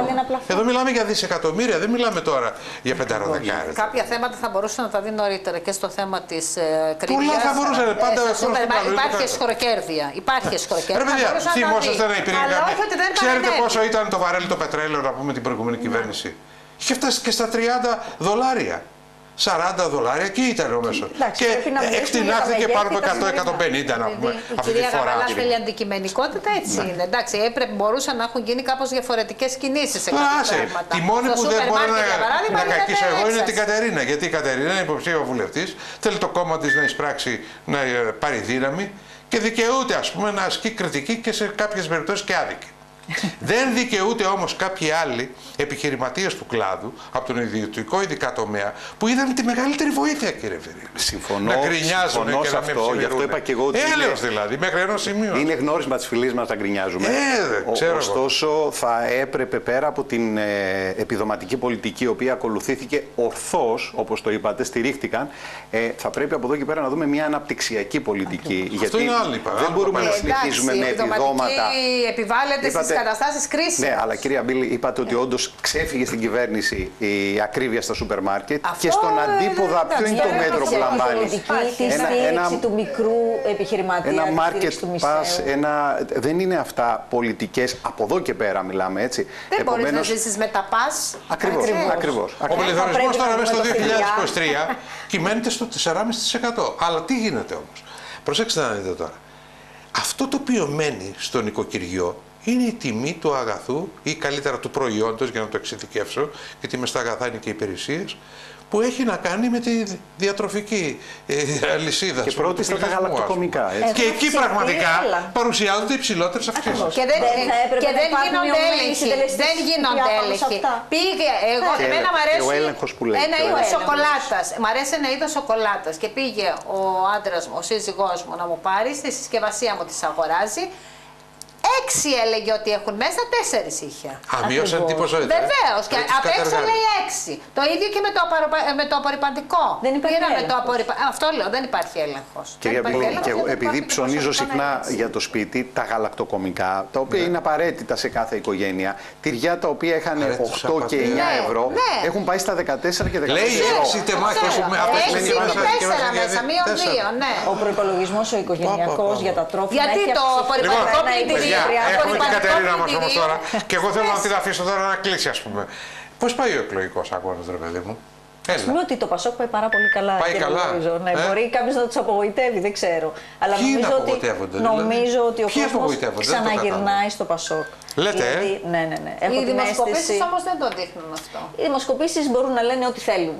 Όταν πηγαίνεις και μιλάς με τους ανθρώπους στις γειτονιές, στα νησιά, στα καφενεία και οι άνθρωποι σε ακούνε, συμμετέχουν στις συζητήσεις και μπαίνουν στη διαδικασία να κρίνουν, να κατακρίνουν ή, εν πάση περιπτώσει, να αξιολογήσουν με οποιοδήποτε τρόπο τόσο αυτά που λες εσύ, όσα και η κυβέρνηση κάνει ή η αντιπολίτευση λέει, νομίζω ότι έχεις την κρίση να αντιληφθείς ότι ο κόσμος πραγματικά έχει ανάγκη από μια στιβαρή φωνή, από μια σοβαρή φωνή και το Πασόκ αυτή τη στιγμή την έχει. Νομίζω ότι τα ποσοστά μας τουλάχιστον τα δωδεκάνησα θα είναι πάρα πολύ καλά, κύριε Λοίζο. Έχω την αίσθηση ότι δεδομένα θα είναι διψήφια και πιθανότατα να είναι. Εδώ πρέπει να φέρετε από τα υψηλότερα ποσοστά. Θα φέρουμε Μετά την από τα- Κρήτη νομίζω πως θα τα φέρουμε από τα δωδεκάνησα- υψηλότερα ποσοστά. Φέρνει. Ο, ο Έλληνας που ζει στα δωδεκάνησα έχει απόλυτη επίγνωση ότι το Πασόκ είναι ένα δημοκρατικό κόμμα και ότι τον εκφράζει ως μεσαία τάξη, ως ραχοκοκαλιά της ελληνικής κοινωνίας. Νομίζω ότι είναι πραγματικά. Η Κατερίνα πώς τα πάει; Η Κατερίνα θα δείξει μετά τις εκλογές. Θα σας πω το βράδυ των εκλογών. Θεωρώ ότι προσωπικά υπάρχει μια έτσι, ανταπόκριση, αν Έχετε θέλετε, και- στην ε, υποψηφιότητα. παιδιά, υπάρχει πολύ ισχυρό δυνατό ψηφοδέλτιο στο Πασόκ. Είναι ένα έτσι. πολύ δυνατό Και ψηφοδέλτιο. νεανικό, όλοι και τους νεανικό είναι- ψηφοδέλτιο. Σε σχέση με. νεανικό- Έχει απ' όλα. νεανικό Σίγουρα σε σχέση με. τους Δηλαδή, προσέξτε προηγούμενους. τώρα. Ε, Έχουμε ένα το χαμηλό, νεανικό τα χαμηλότερα μεσά, είναι- μέσο όρο, νομίζω, στις Ορίστε. ηλικίες. Έχουμε ένα χαμηλό μέσο όρο στις ηλικίες. Ναι. Και Και στι έχει. ηλικίες και στα πρόσωπα, εγώ εννοώ. Και στα πρόσωπα. Και περισσότερο, ανακοινώθηκε πρώτο το ψηφοδέλτιο του Πασόκ, έτσι. Ναι. Και ολοκληρωμένο. Με τις γυναίκες Και ολοκληρωμένο. κανονικά, με- Γιατί- Νομίζω ότι και το τα ψηφοδέλτιο του λοιπά. Πασόκ Για- εκφράζει κάνω όλες ακόμα- τι τάσεις της κοινωνίας. Έχω την αίσθηση ότι στο ψηφοδέλτιο του Πασόκ οι ψηφοφόροι του Πασόκ θα βρουν τον άνθρωπο που μπορεί να τους εκφράσει και μπορεί να τους εκπροσωπήσει. Σίγουρα υπάρχουν νέα πρόσωπα, σίγουρα υπάρχουν νέες ιδέες, υπάρχει η σοφία δεδομένα και από εκεί και πέρα νομίζω ότι η επόμενη μέρα θα μας βρει πρωταγωνιστές στο πολιτικό σκηνικό έτσι κι αλλιώς. Αν με ρωτάτε, γιατί θα με ρωτήσετε μετά από αυτό που είπα, αν θα συνεργαστούμε ή δεν θα συνεργαστούμε, εγώ θα έλεγα ότι το Πασόκ πρέπει να μείνει έξω από συνεργασίες. Είναι η άποψή μου από την πρώτη μέρα και δεν έχει αλλάξει. Ελπίζω και ο Πρόεδρος να αποκτήσει την ίδια, την ίδια θέση σύντομα. Ναι. δεν υπάρχει Κυρία Λεβέντε από την συνεργασία, Κάλυμνο θα- σου στέλνει τις θα ευχές υπάρχει της, σου κυβέρνηση. εύχεται τα Πώς καλύτερα. θα μείνετε έτσι. Όπως Θα- επίσης θα υπάρχει και ο κυβερνησία, κύριος αν δεν Οικονόμου. Υπάρχει συνεργασία. Τι είπατε, κύριε Λέω ότι αν Πυρίκη; δεν υπάρχει συνεργασία θα υπάρχει Ναι. κυβερνησία. Πώς θα μείνετε Ε, έτσι. Είναι ο οι πρόεδρος- αριθμοί ο τέτοιοι πρόεδρος που- είπε ότι Τι θα είστε, δεν- ελεύθεροι σκοπευτές. Είπε για συνένεση. Δεν θα, Καθόλου. δεν θα Πώς, συμμετέχουμε. καθόλου ελεύθεροι Αλλά θα είμαστε, σκοπευτές. θα είμαστε Άμα συνενετικοί. δεν είπε. Θα Έχουμε δείξουν τα νούμερα, αυτοδυναμίες, πώς θα θα γίνει, δείξουν δηλαδή; τα νούμερα της επόμενης μέρας τι Ε, θα ναι, γίνει. αυτό Και λέω. έχω την Άμα δεν υπάρχει αίσθηση ότι αυτοδυναμία θα, καλ- θα κληθείτε σε συγκυβέρνηση. εξαρτάται σε πόσες συνεργασία. έδρες Τώρα να ρίξω φωτιά στο σκηνικό. έδρες θα έχει η Νέα Δημοκρατία. Ε, γιατί εγώ έκανα και ένα, θα στο έγραψα ένα αρθράκι και θέλω, θέλω να το δεις αυτό το πράγμα. Λοιπόν, να σας πω κάτι. Υπάρχει ενδεχόμενο, γιατί ο Ανδρουλάκης, και είναι λογικό, ο πρόεδρος Ανδρουλάκης, αυτόν αναφέρομαι, να μην θέλει τις δεύτερες, τις επαναληπτικές εκλογές, γιατί εκεί είναι βέβαιο ότι τα μικρότερα κόμματα, από το τρίτο και κάτω ας πούμε, θα δεχθούν σοβαρές πιέσεις ας πούμε. Έτσι το αντιλαμβάνομαστε Υπάρχει αυτό και περίπτωση να νομίζω συμβεί ότι αυτό. δεν υπάρχει καμία αμφιβολία πάνω σε αυτό. Είναι καλό λοιπόν να αποφύγει τις δεύτερες εκλογές. Πώς μπορεί να τις αποφύγει; Εάν σχηματιστεί κυβέρνηση από, την, ε, από τις πρώτες εκλογές. Εάν δει ο ΣΥΡΙΖΑ, λόγω χάρη, ότι η Νέα Δημοκρατία δεν είναι μπροστά μια-δύο μονάδες που υποτίθεται ότι είναι μικρή διαφορά και μπορεί να καλυφθεί σε μια επαναληπτική διαδικασία και είναι 4, 5, 6 μονάδες, καταλαβαίνετε ότι εκεί μπορεί να βρεθεί τρόπος να ξεχάσει τα περί και ούτω καθεξής και να προχωρήσουν σε μια ε, από κοινού, ας πούμε, σε σχηματισμό κυβέρνησης. Το ερώτημα όμως είναι το εξής. Δεν βγαίνουν τα ποσοστά. Πασόκ και ΣΥΡΙΖΑ για να, συγκε... για να συγκεντρώσουν 151 βουλευτές. Φαίνεται ότι ο κ. Βαρουφάκης μπαίνει στη Βουλή. Οπότε παίρνοντας το Βαρουφάκη, εάν συνενέσει και το ΚΚΕ, το οποίο λέει σε καμία περίπτωση εγώ δεν ε, συνεργάζομαι, εκεί προσέξτε, μπορεί να σχηματιστεί κυβέρνηση κάτω από μια και μοναδική προϋπόθεση. Ποια μπορεί να είναι αυτή η προϋπόθεση; Ελάτε να κάνουμε ένα μόνο νομοσχέδιο. Απλή αναλογική. Και μετά διαλύεται η Βουλή. Ε. Ψηφίζουν την απλή αναλογική και διαλύεται η Βουλή. Γίνονται οι εκλογές μετά. μεθεπόμενες. Ναι, προσέξτε. Δεν κατάλαβες.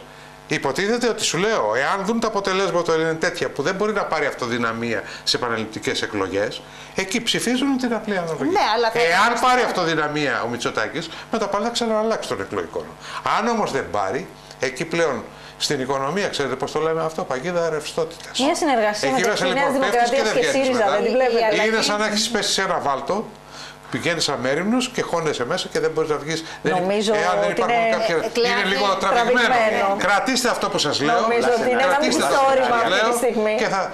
και εκεί πλέον μετά καταλαβαίνετε ότι υποχρεωτικά ιταλοποιείται η πολιτική ζωή της Ελλάδος και θα θέλουμε, δεν θέλουμε, θα πρέπει να συνηθίσουμε να μάθουμε σε συνεργασία. Ε, Όμω αυτέ εδώ ε, οι συνεργασίε δεν ξέρω πόσο μπορούν να αποδώσουν ε, και ναι. πώ θα αντιδράσουν οι αγορέ και όλο ο. Εγώ να θέσω ένα τελευταίο και να ολοκληρώσουμε, αν θέλετε.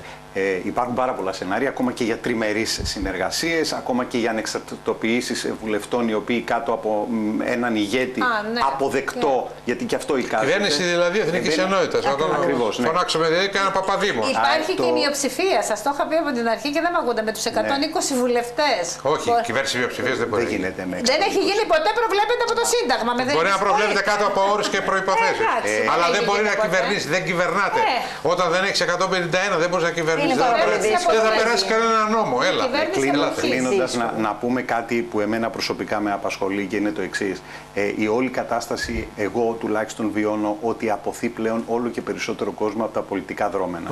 Αυτό είναι πάρα πολύ σημαντικό και αυτό το θέμα θα πρέπει να απασχολήσει έντονα και τα κόμματα και την ε, εκάστοτε κυβέρνηση γιατί πολύ φοβάμαι ότι θα κάνουμε πάλι ρεκόρ σε αποχή με, ναι, με βάση αυτά που γίνονται. Ναι.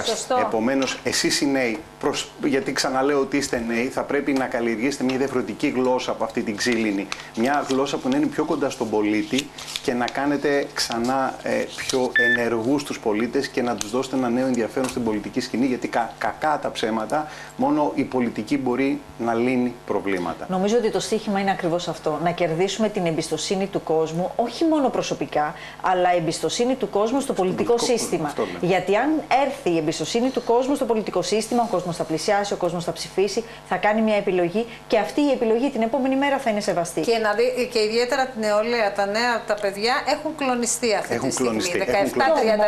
17-34 υπάρχει μεγάλο πρόβλημα. Όμως, Δείχνουν μια απαξίωση στην πολιτική. Κύριε Μπίλη, τα μικρά παιδιά είναι αυτά που αυτή τη στιγμή είναι ευαισθητοποιημένα και έχουν αποφασίσει και επιλέξει να μπουν στη διαδικασία των εκλογών και να επιλέξουν πραγματικά με σύνεση αυτός που θα τους εκπροσωπήσει την επόμενη μέρα. Το μεγάλο κενό είναι στο 25-35.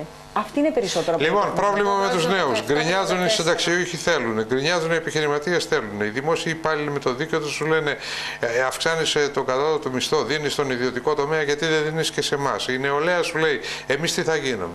Κάτω του Όλα αυτά, παιδιά, σε μια χώρα η οποία το μόνο πράγμα το οποίο παράγει είναι ο τουρισμός και παράγει καλά μυαλά τα οποία σηκώνονται και φεύγουν και πηγαίνουν στο εξωτερικό και εργάζονται.